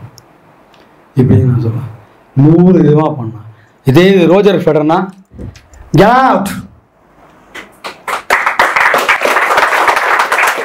ரோஜர் ஃபெரரோட பேக் ஹேண்ட் தான். அது பேக் ஹேண்ட் ரிட்டர்ன் சர்வ் அதனால் இது ஓவர் ஆக்டிங்க இல்லை. எப்படி ரோஜர் ஃபெரர் நான் எப்படி பண்ணுறேன் அப்படி? இது மாதிரி தான் பெயிண்டிங்கில் சால்வடா டாலி எப்படி யூஸ் பண்ணுவீங்க? யூஸ் பண்ணணும். கெண்டன்ஸ்கி எப்படி யூஸ் பண்ணுவீங்க? பண்ணணும். ரெம்பராண்டை எப்படி யூஸ் பண்ணுவீங்க? நீங்கள் யூஸ் பண்ணணும். பொலிட்டிக்கல் ஐடியாலஜி இருக்குது எந்த ஐடியாலஜி கரெக்டாகுது அந்த ஐடியாலஜிக்கில் ரோல் ஒன்று கொடுக்குறாங்க எப்படி பண்ணுவீங்க? சம்மந்தமே இல்லாமல் ஒரு ஆக்டர் எனக்கு ஒரு எனக்கு பிடிக்குதோ பிடிக்கலையோ சும்மா எக்ஸாம்பிளுக்கு சொல்லலாம் ஒரு ஆர்எஸ்எஸ் வந்து எனக்கு ஒரு ரோல் கொடுக்குறாங்க. நான் அந்த ரோல் நடிக்கணும் அப்படின்ற ஒரு விஷயம் நான் நடிக்க போகிறேன்னு வச்சுங்க நான் ஹோம்ஒர்க் பண்ணணும்ல? ஆர்எஸ்எஸ்னா என்ன? ஜன்சங்னா என்ன? உங்களுக்கு புரியுதா? ஸோ ஆர்எஸ் எப்போ வந்தது? காந்தியன் பீரியட்ல எப்படி இருந்தது? எப்படி மாடரேட் மாடரேட்டாக இருந்து எப்படி வந்தாங்க? ஃபெயிலியர் ஆனாங்க. காந்திஜி எப்படி இது பண்ணாரு? அதெல்லாம் நிறைய இருக்குல்ல. இப்போ நான் ஃப்ரீடம் ஸ்ட்ரகிளில் படிக்கலைன்னா வீர சர்வாக்கர் தெரியலன்னா நான் ஆர்எஸ்எஸை பற்றி நடிக்கவே முடியாது. கரெக்டாக அப்போ உங்களுக்கு நான் அந்த கேரக்டர் நடிக்கணும் வீர சர்வாக்கர் ரோல் நான் நடிக்கணும் யாராவது எனக்கு ரோல் கொடுத்தாங்கன்னா நான் வீர் சர்வாக்கரை பற்றி ஐடியாலஜிக்கலாக தெரியலன்னா நடிக்க முடியாது. மாடுலேஷன் அவங்க வாழ்ந்த வாழ்வியல் என்ன? அவங்க ஐடியாலஜி என்ன? அவங்க எப்படி அதை பண்ணாங்க? அப்படின்ற விஷயம். இது ஏன் இதை நான் சொல்லிட்டே இருக்கேன் அப்படின்னா whatever be the ideology எந்த ஐடியாலஜியும் சரி. ஒரு நடிகனுக்கு ஒரு கேரக்டர் கொடுக்கும் பொழுது அந்த கேரக்டர் நடிகன் போர்ட்ரே பண்ணுறான் அதுக்கான ஹோம்ஒர்க் தான் இதெல்லாம். ஸோ வந்து நிறைய டாபிக் நான் வந்து விட்டுட்டேன் உங்களுக்கு எல்லாத்தையும் தெரிஞ்சுங்க போக்கர் கேம் விளையாடு கார்ட்ஸ் விளையாடுங்களா த்ரீ கார்ட்ஸு பிளாக் ஜாக்னு ஒரு கேம் இருக்குது நீங்கள் லாஸ் விகாஸ் போனீங்கன்னா இட்ஸ் கால்டு ஃபோக்கஸ் ஸ்பேஸ்னே பேர். பிளாக் ஜாக் வந்து number twenty one counting cards அது இப்போ எனக்கு எனக்கு ரொம்ப அவசியமாக அது தெரிஞ்சுக்கிறது. ஆனால் ஏன் அதை பற்றி சொல்கிறேன் இந்த போக்கர் ஃபேஸ்ன்றது ஒரு எக்ஸ்பிரஷன் ஃப்ராய்டியன் ஸ்கூலில் வந்து நிறைய இருக்குது ஈராஸ் தேன்ட்ராஸ் நிறைய சொல்லியிருக்காரு ஃப்ராய்ட் சிக்மெண்ட் ஃப்ராய்டு அதில் ஒரு எக்ஸ்பிரஷன் தான் ஃபோக்கஸ் ஸ்பேஸ் இப்போ நான் ஃப்ராய்டு கொண்டு வந்தேன். நல்லா நீங்கள் புரிஞ்சுக்கணும். இப்போ ஃப்ராய்டை பற்றி நான் பேசிட்டு இருக்கேன். ஆக்டிங் பண்ணுற ஃப்ராய்டை பற்றி பேசுகிறேன் இப்போ சார் ஆக்டிங்னா என்ன சொல்லுங்க சார் அப்படின்னா I will say I am split personality இது Freudian statement what is split personality Sundar GM Sundar அப்படின்ற ஒருத்தர் துரக்கண்ண வாத்தியார் ஆக்ட் பண்ணுறாரு அப்போ மேஜிக் இஃபை யூஸ் பண்ணி ஜிஎம் சுந்தர் டிரான்ஸ்ஃபார்ம் ஆகி துரக்கண்ண வாத்தியாராக அங்கே போகிறாரு நல்லா புரிஞ்சுட்டீங்களா இதுதான் நான் திருப்பி திருப்பி சொல்கிறேன் நாலேஜ் தான் ரொம்ப இம்பார்ட்டண்ட்டு நான் சினிமாவில் இவ்வளோ வருஷம் வேலை இல்லாமல் இருந்து திருப்பி எனக்கு கிடைச்சது காரணமே என்னோடய வெயிட்டிங் பீரியடில் நாலேஜ் அக்வயர் பண்ணது தான் அது வந்து உங்களுக்கு சான்ஸ் கிடைக்கும் போது நீங்கள் ப்ரூவ் பண்ண எந்த வேணால் ஃபேக்கல்ட்டி வேணால் இங்கே இருக்கலாம் கேமராமேனாக இருக்கலாம் டைரக்ஷன் இதில் இருக்கலாம் எதில் வேணால் நீங்கள் இருக்கலாம். ஆனால் நல்லா ஞாபகம் வச்சுங்க இப்போ இருக்க இதை வந்து நீங்கள் அப்கிரேட் பண்ணணும். பத்து வருஷம் கழித்து நீங்கள் அப்கிரேட் பண்ணணும். அதுக்கப்புறம் பத்து வருஷத்துக்கு அப்புறம் டெக்னாலஜி அப்கிரேட் பண்ணணும். சாகிற வரைக்கும் நீங்கள் செய்யணும். அதுதான் ஆக்டிங் வேற கேள்வி. Good evening sir. I am Ashok Saminathan cinematographer Raman character பண்ணியிருந்தார்ல Santhosh Prathap. அவர் அடுத்த ஃபிலிம்க்கு நான் தான் இப்போ டிஓபியாக பண்ணியிருக்கேன். சூப்பர். ஸோ ஒரு ஷார்ட் இன்ட்ரடக்ஷன் வேறு ஒன்று சார் இப்போ நான் ஃபிலிம் ஸ்கூல்லேருந்து தான் நானும் வந்தேன் நான் வந்து. நாசர் சார் வந்து நிறைய கண்டக்ட் பண்ணியிருக்காரு கிளாஸஸ் இருந்து. அதில் நான் அந்த மாதிரி வீடியோ எல்லாமே ஷூட் பண்ண கூப்பிடுவாங்க. அதில் வந்து இந்த தேவராட்டம் ஒயிலாட்டம் இதெல்லாம் வந்து கிளாஸஸ் வந்து கொடுப்பாரு. எனக்கு ஸ்டார்டிங்கில் எனக்கு அது புரியல. இந்த லாஸ்ட் டிப்ளமா ஃபிலிம் பண்ணும்போது அவங்களோட பெர்ஃபார்மன்ஸில் வந்து பிகினிங்ல இருந்ததுக்கும் அந்த எண்டில் இருந்ததுக்கும் நிறைய ஒரு ஒரு சேஞ்ச் இருந்துச்சு. இப்போ இது ஃபிலிம் ஸ்கூலோட நான் முடிஞ்சிட்டேன். வெளியில் வந்தேன். அதுக்கப்புறம் ஒரு thirty five forty short films நான் வந்து கேமராமேன் பண்ணேன். நாளே வரைக்கும் பண்ணேன். அதில் சில ஆக்டர்ஸில் பார்த்தீங்க அப்படின்னா இன்ட்ரெஸ்ட்ல வந்து பண்ணுறாங்க கரெக்ட் அதாவது என்னன்னா நான் ஆக்டர் ஆகணும் வந்து பண்ணுறாங்க அவங்களுக்கு வந்து என்னன்னா நான் இதையே லேர்ன் பண்ணணும். இப்போ என்னன்னா ஒரு டைம் வரைக்கும் பண்ணுறாங்க ஒரு ஒரு ஒரு பர்டிகுலர் டைம் அவங்களால ட்ராவல் பண்ண முடியல. இந்த ஸ்ட்ரகிள் வந்து இப்படி வரவங்க வந்து எப்படி போ என்ன மாதிரி இது போகும்னு புரியல முதலே சொன்னேன் ஸ்டானிஸ்லாஸ்கே நான் படித்தேன் இப்போ ஸ்டானிஸ்லாஸ்கே ரீவிசிட் பண்ணுறேன் அப்படின்னா என்ன மீனிங் அப்படின்னு கேட்டிங்கன்னா இன்றைக்கி ஸ்டானிஸ்லாஸ்கே உதவுவாரான் தேவராட்டம் உதவுமா? குயிலாட்டம் உதவுமா? தெருக்கூத்து உதவுமா? அதான் ரீவிசிட்டு இது எல்லாமே கலை தான் எல்லாமே அதுக்கு வேண்டிய ஒரு கலை ஒரு காலகட்டத்தில் எல்லாமே இருந்திருக்கு இப்போ இருக்குது ப்ராக்டிஸ் பண்ணுறாங்க ஆனால் டெக்னாலஜி வந்து எல்லாத்தையும் காலி பண்ணிடுச்சு. அதுதான் திருப்பி திருப்பி வர டெக்னாலஜி இந்த டெக்னாலஜியை நம்ம புரிஞ்சுக்கலன்னா நீங்கள் வந்து ஒயிலாடத்துலேயே இருக்க வேண்டியதுதான். ஒயிலாடம் தப்புன்னு நான் சொல்ல அது பெரிய ஆர்ட் ஃபார்ம் ஆனால் இன்னைக்குள்ள கான்டெம்பரரினஸ் இல்லை நம்ம தள்ளி விட்டுட்டு போகிறோம் டெக்னாலஜி வந்து பல விஷயத்தை காலி பண்ணும் பல விஷயத்தை ரெக்கார்ட் பண்ணும். ஆர்கேவல் மாதிரி. புரியுதா உங்களுக்கு? ஸோ டெக்னாலஜியை திருப்பி திருப்பியும் நீங்கள் நான் வந்து இப்போ தெருக்கூட்டு ஆர்டிஸ்ட்டு நான் கட்டியங்கார வேஷம்லாம் போட்டிருக்கேன். எந்த அளவு கட்டியங்காரன் நீங்கள் உதவுவான் ஜிஎம் சுந்தருக்கு? சொல்லுங்கள் அப்படின்றது உதவுவான். டெஃபினட்டாக உதவுறான். அது எனக்கு தெரியும். எங்கே உதவுறான்? நான் உங்களுக்கு சொல்ல மாட்டேன். சீக்ரெட் அது. ஆக்டிங்கில் ஒரு சீக்ரெட் அது. புரியுது உங்களுக்கு? எல்லாரும் ஜிஎம் சுந்தர மாதிரி இருப்பாங்கன்னு நீங்கள் எதிர்பார்க்க முடியாது. அதனால் நீங்கள் கேட்ட கேள்விக்கு வந்து ஒயிலாட்டம் ஆடுறவங்கள மெத்தட் ஆக்டிங் பண்ண முடியாது. வள்ளி திருமணத்துலேருந்து நாடகத்தில் நடித்தவங்க மெத்தட் ஆக்டிங் பண்ண முடியாது. ஏன் இதை சொல்கிறேன்னா நான் முதலே சொன்னேன் theatre is a limited space called proscenium இங்கிலீஷில் இந்த லிமிட்டெட் ஸ்பேஸில் டிஃபைன்டு ஆடியன்ஸ் டிஃபைன்டு ஸ்பேஸ் இந்த டிஃபைன் ஸ்பேஸ்க்குள்ளே டேர ஆக்டர் மூவ் பண்ணுவான் வாய்ஸை த்ரோ பண்ணுவான். எக்ஸாஸ் இஸ் கால்டு எக்ஸ்பிரஷனிஸ்டிக் மேக்கப் பேர். அப்படின்னா என்ன அர்த்தம்னா விசிபிளாக இருக்கணும். அதனால தான் நான் கண்ணு இங்கே இங்கே மைய இங்கே மைய இங்கே ஒரு ஒயிட்டு போட்டேன்னா கண்ணு மட்டும் கரெக்டாக தெரியும். ஸோ இந்த எக்ஸ்பிரஷனிஸ்டிக் மேக்கப்பை தியேட்டரில் தான் நான் பண்ண முடியும். ஒரு ஃபிலிமில் க்ளோஸ்அப்பில் வரும்போது இதே ஐலாஷை போட்டு நான் பண்ண முடியாது. பட் ஜோக்கர்னு படம் பார்த்துருப்பீங்க. So it is entirely different ball game அந்த ஆக்டர் பெர்ஃபார்ம் பண்ணது. ஜோக்கர் இருந்து ஒரு மெட்டஃபர் மெட்டஃபர்னா குறியீடுன்னு அர்த்தம். குறியீடு. ஸோ இந்த இந்த ஜோக்கர் அப்படின்ற ஒரு விஷயத்தில் இது காட்ஸ்லேருந்து தான் வருது. எங்கேருந்து வரல? நான் திருப்பி திருப்பி போனேன். கார்ட்ஸ் பா பா விளையாடுவீங்களா அப்படின்னு கேட்டேன். பிளாக் ஜாக்கு போக்கர் நிறைய இருக்குது அந்த மாதிரி. ஸோ ஜோக்கர் வந்து இப்போ அந்த கார்ட்ஸ்லேருந்து தான் வரவன் புரியுதா உங்களுக்கு? அதை வந்து ஒரு குறியீடாக ஒரு மெட்டஃபராக பண்ணி ஒரு ஆக்டர் பெர்ஃபார்ம் பண்ணும்போது எக்ஸாஜிரேட்டட் மேக்கப்பு எக்ஸாஜிரேட்டட் ஆன ஒரு பெர்ஃபார்மன்ஸ் பர்டிகுலர் சீக்வன்ஸில் அவன் பண்ணுறான் பர்டிகுலர் சீக்வன்ஸ் மற்றபடி நார்மலாக இருப்பான். இட்ஸ் கால்டு ஜாக்கில் அண்ட் ஹைடுன்னு பேர். அகெயின் எ ஃப்ராய்டியன் எக்ஸ்பிரஷன் தான் அது. அகெயின் எ ஸ்பிட் பர்சனாலிட்டி உங்களால் புரிஞ்சுட்டீங்களா? ஸோ ஒரு பக்கம் அந்த ஆக்டர் ஆக்டராக இருப்பான் ஒரு பக்கம் ஜோக்கராக இருப்பான் ஸோ டேரக்ட் கேமரா ஆன் பண்ணோம்னா அவன் ஜோக்கர் வந்துடுவான் இப்போ ஓகே ஃபைன் தேங்க்யூ அப்படின்னு போய் டீ குடிச்சிருவான் ஸோ ஆக்டர் மாறி மாறி பண்ணினே இருப்பான் ஸ்பிட் பர்சனாலிட்டி ஸோ நான் கொஞ்சம் டிவைட் பண்ணி போயிட்டேன். நீ கேட்ட ஒரே பதில் தான் இன்னைக்கு குயிலாட்டம் தேவராட்டம்லாம் ரெஃபரன் ரெஃபரபுளா அப்படின்னு நம்ம விசிட் பண்ணணும் குயிலாட்டத்தையும் தேவராட்டத்தையும் ஒரு பர்டிகுலர் ஸ்டெப் இருக்குன்னு வச்சுக்கோங்க. பர்டிகுலர் ஸ்டெப் ஒரு டைரக்டர் கேட்குறோம் நான் கற்றுக்கு தான் ஆகணும் கற்றுட்டு அந்த ஸ்டெப்பை நான் பண்ணி ஆகணும் பட் இன்னைக்கு உள்ள டெக்னாலஜிக்கல் இன்வென்ஷனில் இதெல்லாம் கரெக்டா அப்படின்ற ஒரு கேள்வி இருக்கு. புரியுதாங்க அதனால தான் general டெர்மினாலஜியாக you have to revisit revisit பண்ணணும். இதுதான் அப்படி நான் சொல்யூஷன் கொடுக்க முடியாது ஒரு ஆக்டர் அது வந்து அவங்க ஃபாலோ பண்ணல. அது வந்து சைக்கலாஜிக்கலாக ஏதோ ஒரு விஷயத்துல அவங்க ஆக்டரா ஃபியூச்சர்ல பெர்ஃபார்ம் பண்ணுறது யூஸ் ஆகும் இல்லை நீங்கள் என்ன வேணும்னா சொல்லுங்கள் நான் கொடுக்க முடியாது ஒரு ஆக்டருக்கு சஜஷன் ஏன்னா ஆக்டர் வந்து ஆக்ட் பண்ணணும் அது நீங்கள் வா நீங்கள் வந்த வழி அது. நீங்கள் வந்து எப்படிலாம் வந்தீங்க?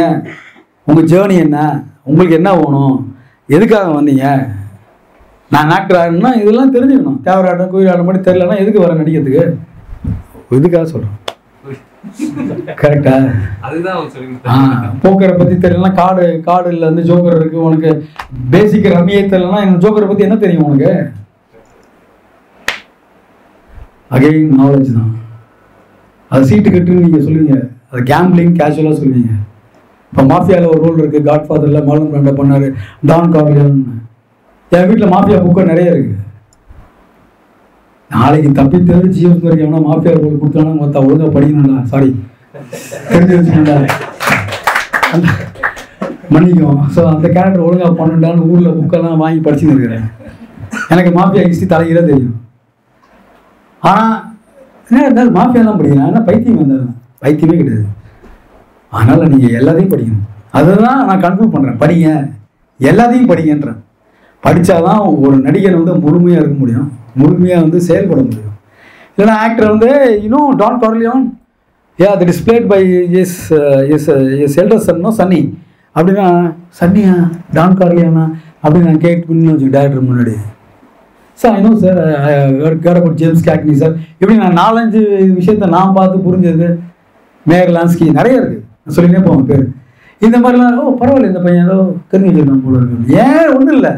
நான் அந்த கேரக்டருக்குள்ளே போனோம். நான் வந்து மாஃபியா டான் ஆக்ட் பண்ணால் நான் அந்த கேரக்டருக்குள்ளே போகணும் எங்கள் ஊர் மாஃபியா டான் எப்படி இருப்பான்? மோலான் பிராண்டா மாதிரி இருக்க மாட்டான். அப்போ எங்கள் ஊர் மாஃபியா எப்படி இருப்பான்? எங்கள் ஊர் ஈதாஸ் எப்படி இருக்குது இதெல்லாம் நான் தெரிஞ்சுக்காம நான் ஒன்றுமே பண்ண முடியாது. வேறு ஏதாவது இருந்தால் கேளுங்க குட் ஈவினிங் சார் Hello. என் பேர் சிவனேசன். இப்போ ஒரு நல்ல ஒரு ஆக்டிங்க்கும் ஒரு ஓவர் ஆக்டிங்க்குமான வித்தியாசம் என்னன்ட்டு சொன்னால் கொஞ்சம் நல்லா இருக்கும்னு நினைக்கிறேன் சார் இப்போ வீட்டில் யாராவது இறந்துட்டாங்க வச்சுங்களேன் ஏதாவது யார் வீட்லேயே இறந்துட்டாங்க. ஒப்பாரி வைக்கிறாங்க. இந்த ஒப்பாரி ஓவர் ஆக்டிங்ன்றீங்களா நேச்சுரல் ஆக்டிங்ன்றீங்களா என்னங்க ஏன் இப்படி கத்தி கத்தி அழுதுருக்காங்க மாரில் அடிச்சுக்கிறாங்க. பார்த்தீங்கன்னா அவர் ஒருத்தர் ஓவர் ஆக்டிங்ட்டாரு அப்போ நம்மளோட கல்ச்சரில் நம்மளோட விஷயத்தில் இப்போ மாடு பிடிக்க போறீங்க மஞ்சவரத்தில் புரியுதா உங்களுக்கு? போன போய் உங்கள் பாடி லாங்குவேஜ் எப்படி இருக்கும்? இது ஓவர் ஆக்டிங் சொன்னீங்களா? நான் இல்லைன்றேன். ஆமாம் நீங்கள் கேட்ட கேள்விக்கும் அவர் சொன்ன பதிலுக்கும் ஓவர் ஆக்டிங்லாம் கிடையாது. கல்ச்சுரல் ஈத்தாஸை நம்ம கரெக்டாக அண்டர்ஸ்டாண்ட் பண்ணி இந்த இமோஷனல் மெமரியில் நீங்கள் வச்சுக்கிட்டீங்கன்னா இதை ஒரு எக்ஸ்பிரஷனிஸ்டிக்காக நீங்கள் வந்து கொண்டு வர முடியும். நீங்கள் ஆக்டிங் பண்ண முடியுது so over acting natural acting அப்படிலாம் ஒன்றும் கிடையாது பொய். அன் ஆக்டர் இஸ் ஆக்டிங் அவ்வளோதான் is acting is an actor are is an actress அவ்வளோதான் இந்த ஆக்ட்ரஸ் கேரக்டருக்குள்ளே இன்வால்வ் ஆனால் தான் நீங்கள் பார்க்கணும். ஒப்பாரி வைக்கும்போது நான் வந்து அஹ், அப்படின்னு என்ன அர்த்தம்? எங்கள் ஊரில் ஒப்பாரி வைக்க மாட்டான்றேன். கரெக்டா? அப்போ சிவாஜி கணேசன் ஒப்பாரி வைக்க முடியும் ஓவர் ஆக்டிங் இருக்கு? இல்லைன்றேன் அப்போ ஒப்பாரின்ற ஒரு விஷயத்த நம்ம வந்து ஓவர் ஆக்டிங்கை பார்க்குறோம். நீ காலகட்டத்தில். ஆனால் கல்ச்சுரலாக அதான் அதான். கல்ச்சுரலாக அப்படி தான் இருப்பாங்க.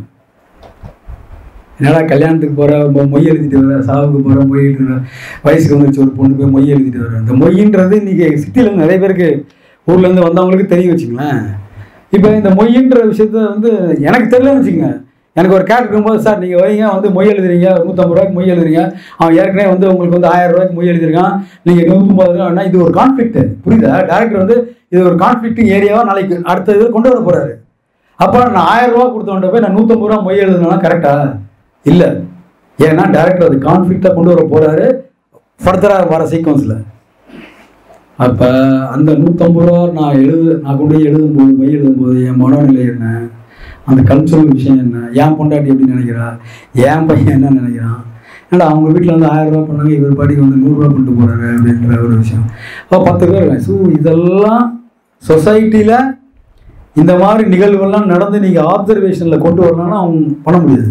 சும்மா டைலாக் டெலிவரி மாதிரி ஆகிட்டு போயிட்டு இருக்கும் அவ்வளோ ஸோ நீங்கள் கேட்டது வந்து ஓவர் ஆக்டிங்கு நேச்சுரல் ஆக்டிங் அப்படிலாம் ஒன்றுமே கிடையாது. இப்போ இப்போ கண்டுபிடிக்கப்பட்ட ஒரு ஒரு டெர்மினாலஜி தான் ஒரு ஜார்கன் தான் ஸோ ஆக்டர் நடிக்கிறான் அவ்வளோதான் is a good actor bad actor நீங்கள் வேணால் சொல்லிட்டு போங்க. ஆ சரியில்லை இப்படி பண்ண. ஏன் இப்படி கத்துறான்? அப்படி கூட நீங்கள் சொல்லலாம் ஒன்றும் பிரச்சனை இல்லை. ஸோ ஆக்டருக்கு வந்து ஒரு ஒரு ஒரு விதமான ஒரு கிளாரிட்டி வேணும். எந்த சீனை எப்படி எக்ஸா எக்ஸாசரேட் பண்ணுறான்னு அவ்வளோதான் ஸோ அதை வந்து நீங்கள் ஓவர் ஆக்டிங் சொல்ல முடியாது. இப்போ நான் என்ன ஜோக் காமிக்கிறீங்களா? அப்படின்றது தான் முதல்ல நான் சொன்னேன். அது என்ன ஓவர் ஆக்டிங்கு என் இடத்துக்கு என் நான் என்னை வச்சு ஒரு கான்டெம்பரரியான ஒரு வாத்தியார் அவன் ஸ்டூடெண்ட்டோட என் இடத்துக்கு வரான். நானும் ஸ்டூடெண்ட்டை ட்ரெயின் பண்ணிட்டு இருக்கேன். உங்களுக்கு புரியுதா? அப்படி இருக்கும் பொழுது நான் என்ன மனநிலையில் இருப்பேன்? துறக்கணும் வந்து என்ன மனநிலையில் இருப்பார். தப்பாக எடுத்துக்காதீங்க. ஒத்தா என் இடத்துக்கே வந்துட்டான் அவன். வாட. இதுதான் மனநிலை ஆக்டருக்கு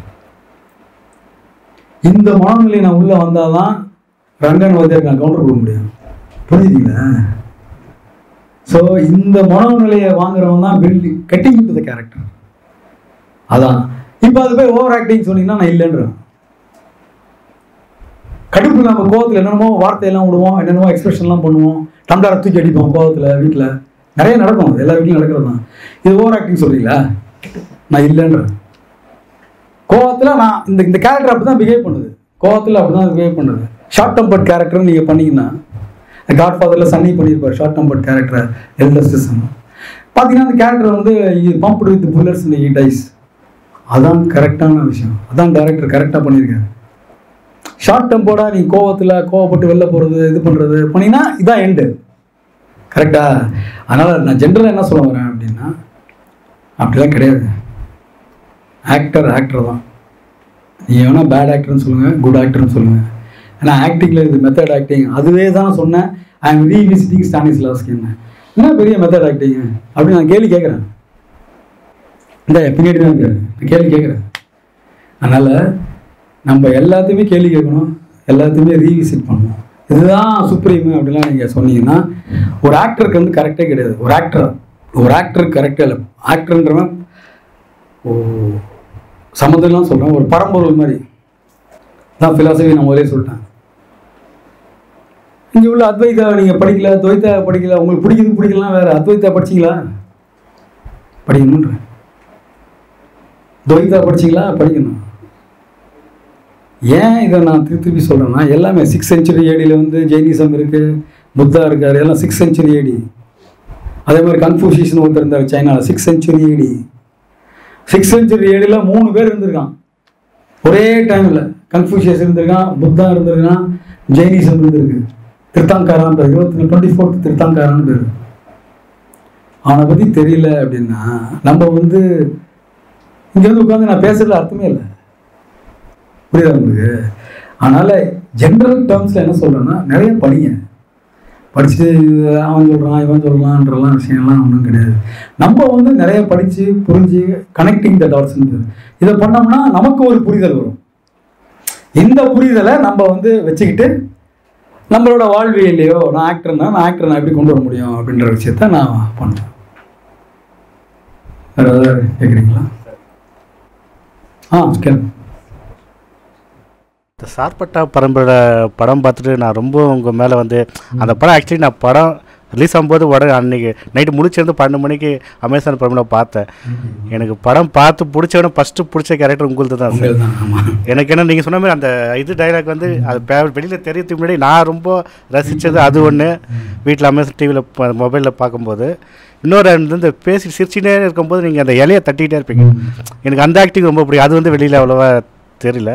ஸோ இது வந்து நீங்களாக க்ரியேட் பண்ணி பண்ணுறதா இல்லை டைரக்டர் சொன்னதை அப்படியே செஞ்சீங்களா நீங்கள் இது வந்து முதல்ல சொன்னேன் சானிஸ்லாஸ்க்கு வந்து இம்ப்ரவைசேஷன் ஆக்டர் ஷுட் இம்ப்ரவைஸ் துண்டு போட்டிருக்கான் பிறக்கணும் வந்தார் கண்ணாடி போட்டிருக்கான். தொழில் வந்து வாழை இலை மண்டியில் வந்து வேலை பார்க்குறான் அப்படின்போது வாழை இலை மண்டி இதெல்லாம் அவன் செய்கிற தொழில். அப்புறம் தண்ணியை போட்டு வந்து பேசுவான் இந்த கேரக்டர் நான் ஏன் இதை சொல்கிறேன் அப்படின்னு கேட்டிங்கன்னா இதெல்லாம் நீங்கள் நம்ம உள்வாங்கணும். டேரக்டர்னு சொல்லுவார். இந்த டைலாக் தான் இது. இந்த மாதிரி சுச்சுவேஷன் உங்கள் இதுன்னு சொல்லுவார். ஆனால் ஸ்டானிஸ்லாஸ்க்கு ஒரு வார்த்தை சொல்லியிருக்காங்க கேட்ட கேள்வி an actor recreates an actor recreates திரும்பி சொல்கிறேன் அன் ஆக்டர் ரீக்ரியேட்ஸ் இப்போ உங்களுக்கு? கேப்டன் ஆஃப் ஷிப் டைரக்டர் தான். அவர் தான் டைலாக் எழுதுறாரு. அவர் தான் சீன் வைக்கிறார். கேமராமேன் சொல்கிற எல்லாம் சொல்லணும் ஆனால் இந்த ஆக்டர் வந்து மேஜிக்கை கிரியேட் பண்ணுவான். அவன் தான் மேஜிக் இஃப்னு சொன்னான் அவன் தான் ட்ரான்ஸ்ஃபார்ம் பண்ணுவான். புரியுங்களா ட்ரான்ஸ்ஃபார்ம் பண்ணணும்னா அவனுக்கு என்ன பாடி லாங்குவேஜ் வேணுமோ அதை கொடுக்குறான் அது நீங்கள் கேரக்டர் பில்டிங்கே கேரக்டர் அகைன் சானிஸ்லாசி அதை நீங்கள் உள்வாங்கினா தான் அந்த வன்மத்தை உள்வாங்கினா தான் அந்த வன்மம் வெளியில் வரும். நான் போட்ட துண்டில் வரும். நான் போட்ட வேலை செய்கிற இலை இலையில வரும். கரெக்டாக அதான் நான் சொன்ன இம்ப்ரூவேஷன் இந்த புக்கு தான் நீங்கள் பார்க்கணும். அந்த புக்காக நான் பார்க்கலன்றேன். குண்டி சுரியது கூட நான் யூஸ் பண்ணலான்றேன் கரெக்டா இது வந்து இம்ப்ரவைசேஷன் சொல்கிறேன் ஸோ புக்கு வந்து புக்கு தான்.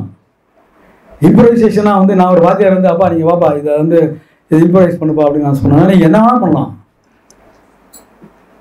கரெக்டா ஸோ அதனால நீங்கள் கேட்ட கேள்வி வந்து ரொம்ப சந்தோஷம். நீங்கள் சர்பேட்டா பார்த்தது. ஃபர்ஸ்ட் டைம் பார்த்தோன்னே எனக்கு சரியில்லை உடனே மன காலைல எழுந்து திருப்பி அந்த படத்தை பார்த்துட்டு திருப்பி மறுநாள் ஆஃபீஸ்க்கு எல்லாருக்குமே சொன்னேன் அந்த மாதிரி படம் சூப்பராக இருக்குது. ஆனால் அதே போல் உங்கள் ஆக்டிங் நான் வலிமையில ரொம்ப எதிர்பார்த்தேன் சார். இது வந்து அந்த இதில் சாப்பாடுல இருந்த அளவுக்கு வலிமையில இல்லைன்ற போது நான் ரொம்ப டிசப்பாயிண்ட் ஆகிட்டீங்க எனக்கு கொஞ்சம் இதுவாகிடுச்சு அதான் நான் சொன்னேனே நேற்று வந்து என்ன கிழமை நேற்று நாளைக்கு என்ன கிழமை? ஸோ கிழமையில் மாறுது இல்லை நம்மளும் மாறுறோம்ல. நேற்று நல்ல சாப்பாடு சாப்பிட்ருப்போம் அதுக்கு முன்னாடி விநாயகர் சதுர்த்தி வீட்டிலலாம் பண்ணியிருப்பாங்க நல்லா சாப்பிட்ருப்பீங்க சில வீட்டில் பண்ண மாட்டாங்க அதெல்லாம் அடுத்தது. ஸோ நான் என்ன சொல்கிறேன் அப்படின்னு கேட்டிங்கன்னா எல்லா படத்துலையும் வந்து ஜோக் காமிக்கிற மாதிரி நான் பண்ண முடியாது. ஏன்னா பிகாம அவர் கேட்ட கேள்வி வந்து I become very very bad actor I become very very bad actor so அது நான் பண்ண முடியாது. இதில் வந்து போலீஸ்கார் என்ன பண்ணுவாருன்ற ஒரு விஷயம்தான். ஸோ அதில் நம்ம என்ன பண்ண முடியும் போலீஸ்காரங்க நம்ம அதை தான் சொல்கிறேன் கேரக்டர் வந்து கொடுக்கும் பொழுது நீங்கள் வந்து எவ்வளோ ஐஜியை பார்த்துருக்கீங்க? எவ்வளோ டிஐஜியை பார்த்துருக்கீங்க? எப்படி கொண்டு வரணுன்றது நீங்கள் தான் டேரக்டர் உங்களுக்கு ஒரு ஐடியா கொடுப்பாரு. An ஆக்டர் ரீக்ரியேட்ஸ் திருப்பி திரும்பி சொல்கிறேன் ஆக்டர் ரீக்ரியேட்ஸ் ஸோ நான் ஆக்டர் ரீக்ரியேட் பண்ணுவான். அவன் தான் ஒரு மேஜிக்கை கொண்டு வருவான். அதனால தான் கை தட்டுறீங்க நான் ஆனால் ஏன் கை தட்டுறீங்க அந்த அட்னலையும் சொல்லுவான். ரஜினிகாந்த் வந்து அப்படி ஒரு மலடா அப்படின்னா ஏன் கை தட்டுறீங்க ரஜினிகாந்த் மலடா அண்ணா மலடா இதுதான் டைலாகு நான் ரஜினி சார் எப்படி சொல்றாரு பாருங்க. உங்களுக்கு புரியுதா? அதான். ஸோ எல்லாமே கமல் சார் எடுத்து எல்லாமே நீங்கள் சி இதெல்லாம் ஆக்டர் வந்து ரீக்ரியேட் பண்ணுவான். ஆக்டர் ரீக்ரியேட்ஸ் தான் மேஜிக் அதான் மேஜிக் இஃப் ஸோ நீங்கள் கேட்ட கேள்விக்கு வந்து ஆக்டர் உள் உள் வாங்கணும்னா ஆக்டிங்க நீங்கள் கிரியேட் பண்ணலாம். நானும் சொதப்பிருக்கேன் அதெல்லாம் இல்லைன்னு சொல்லலை. ஸோ அப்புறம் நம்ம வந்து ஓ இதை சரியாக பண்ணல நம்ம ஓகே இப்படி பண்ணால் பெட்டராக இருக்குமோ நம்ம யோசிச்சு திரும்பி நம்ம பண்ண வருவோம். ஸோ ஆக்டரை வந்து கான்ஸ்டண்ட்டாக வந்து பெரிய நடிகன் அப்படின்னு சொன்னீங்கன்னா அப்படிலாம் ஒருத்தன் கிடையாது. நடிகனும் தப்பு பண்ணுவான் நடிகனும் கற்றுப்பான் திருப்பி ரீவிசிட் பண்ணுவான் பெட்டர் ஆக்டராகவும் வருவான். உங்களுக்கு புரியுதா? அதனால் நடிப்புன்ற முதலே சொல்லிட்டு இட்ஸ் ஃபிலாசபி அப்படி தான் நான் அதை அணுகிறேன். என்னை பொறுத்த வரைக்கும் நான் அப்படி தான் அதை அணுகிட்டு இருக்கேன் இன்ன வரைக்கும். வேறு யாராவது ஏதாவது கேள்விகள் இருக்கா? சொல்லுங்க. ஆ கேளுங்க. வணக்கம் சார். கார்த்திகேயன் என் பேர். நீங்கள் ஃபஸ்ட் டைம் கேமரா முன்னால் நிற்கும்போது நம்ம தான் ஸ்டூடெண்ட் இல்லையா? அதனால் வந்து நம்ம இது கொடுக்குற டயலாகை ஈஸியாக நம்ம ஆக்ட் பண்ணிட்டு போயிடலாம் அப்படின்ற மைண்ட் செட் இருந்ததா? இல்லை உங்களுக்கு ஸ்டார்டிங்கில் ஃபியர் இருந்ததான்னு தெரிஞ்சுக்கணும் உண்மையை சொல்ல போனால் ஃபியர் இருந்தது சார். நான் இன்ஸ்டியூட்டில் படித்தேன். ஆக்டிங் டிகிரிலாம் படிச்சுட்டு வந்த இருக்கும்போது இண்டஸ்ட்ரிக்கு நான் வரும்போது கமல் சார் நிற்கிறாரு பாலசன் சார் அறிமுகம். புரியுதா உங்களுக்கு இப்படி நான் வந்து அதில் வந்து சிங்கள தமிழ் ஆக்ட் பண்ணுவேன். எனக்கு எனக்கு வந்து ட்ரைனிங்லாம் கொடுத்தாங்க சிங்கள லாங்குவேஜ் பேசுறது இதெல்லாம் பேசி டேரக்டர் நடிக்க சொல்கிறாரு உதறது. என்ன பண்ணுறது என்னடா இன்ஸ்டியூட் படிச்சிருக்காங்க உதறது அப்படின்னு நான் சொல்ல முடியாது. நாலு போய் என்ன எக்ஸ்போஸ் பண்ண முடியாது. ஆ ஒன்றும் நடக்காத மாதிரி நான் போய் பண்ணுறோம் அது. ஏய் இப்படி இல்லைடா அது இப்படி பண்ணுறா அப்படின்னு டேரக்டர் சொல்கிறாரு ஸோ திரும்பி உங்களுக்கு வந்து பயம் வருது. டேரக்டர் திட்டும்போது புரியுதா உங்களுக்கு? இதெல்லாம் ப்ராக்டிக்கலாக நான் அனுபவிச்சதில்லை. ஆனால் அந்த ஷூட்டிங்கில் அதெல்லாம் அனுபவிக்கிறேன் ஸோ ஒரு பக்கம் திட்டுறாரு ஒரு பக்கம் பெரிய ஸ்டாரு புரியுதா உங்களுக்கு? எல்லாமே பார்த்தீங்கன்னா பெரிய ஜாம்பவம் நம்ம போய் புதுசாக நம்மளை பெருமை பெருமைக்குரிய அறிவும் டைட்டில் போட்டார். என்ன பண்ணோம் பயந்தான் புரியுதா உங்களுக்கு? ஆனால் அந்த பயத்தெல்லாம் ஓவர் கம் பண்ணி தான் இங்கே உட்காந்துருக்கேன் ஜிஎம்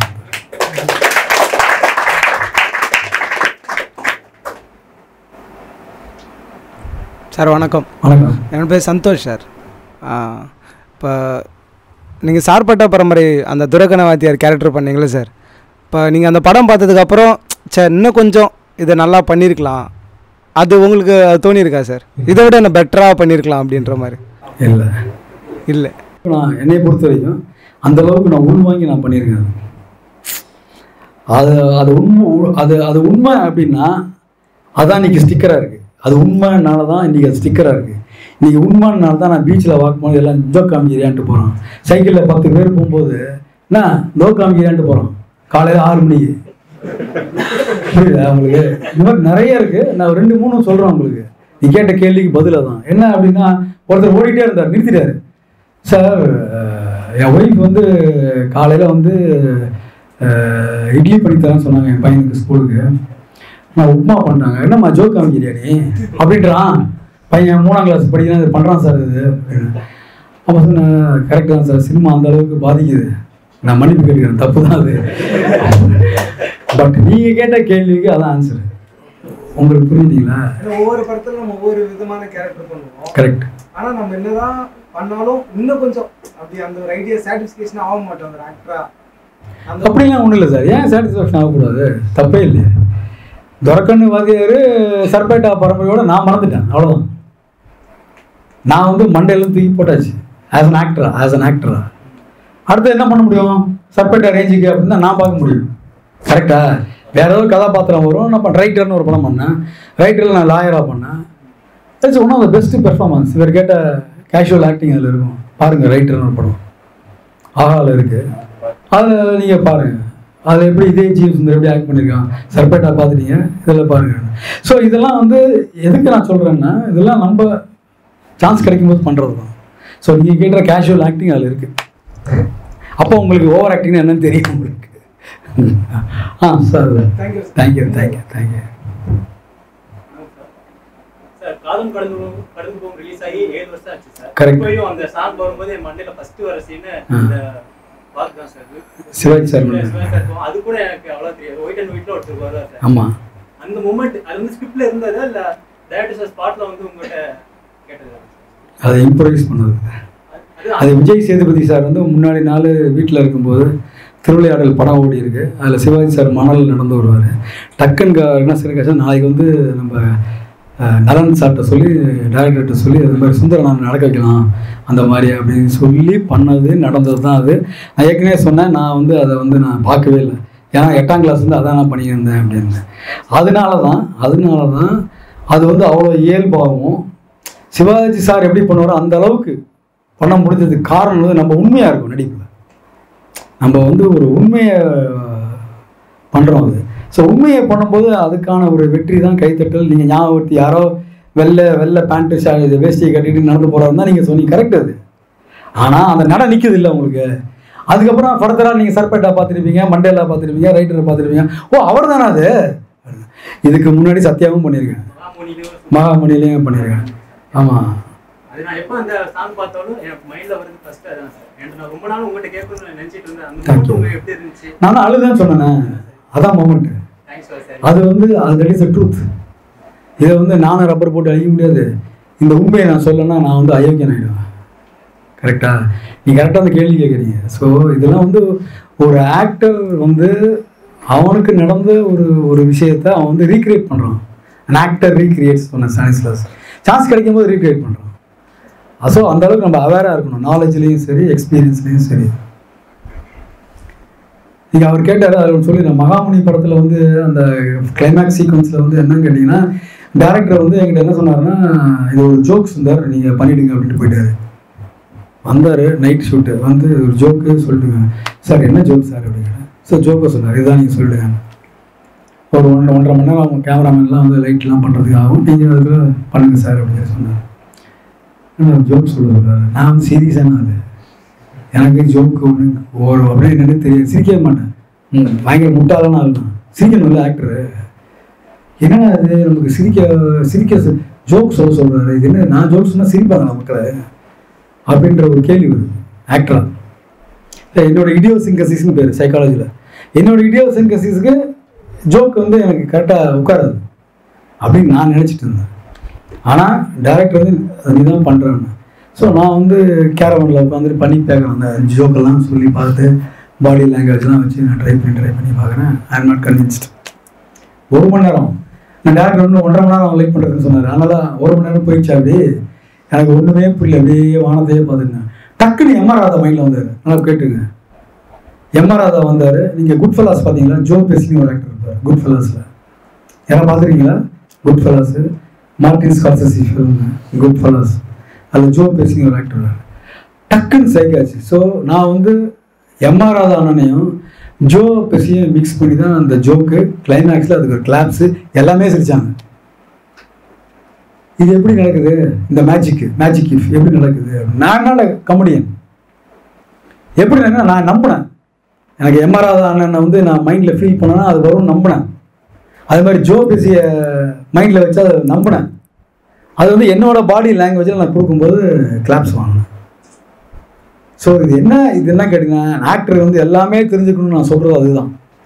ஸோ உங்களுக்கு வந்து ச காதல் கடந்து போனால் பிளாக் ஹியூமர் புரியுதா உங்களுக்கு? இதெல்லாம் பல விஷயங்களை உள்வாங்கினா தான் பல விஷயங்கள் நமக்கு தெரிஞ்சுக்க முடியும். அதுக்காக சொன்னாங்க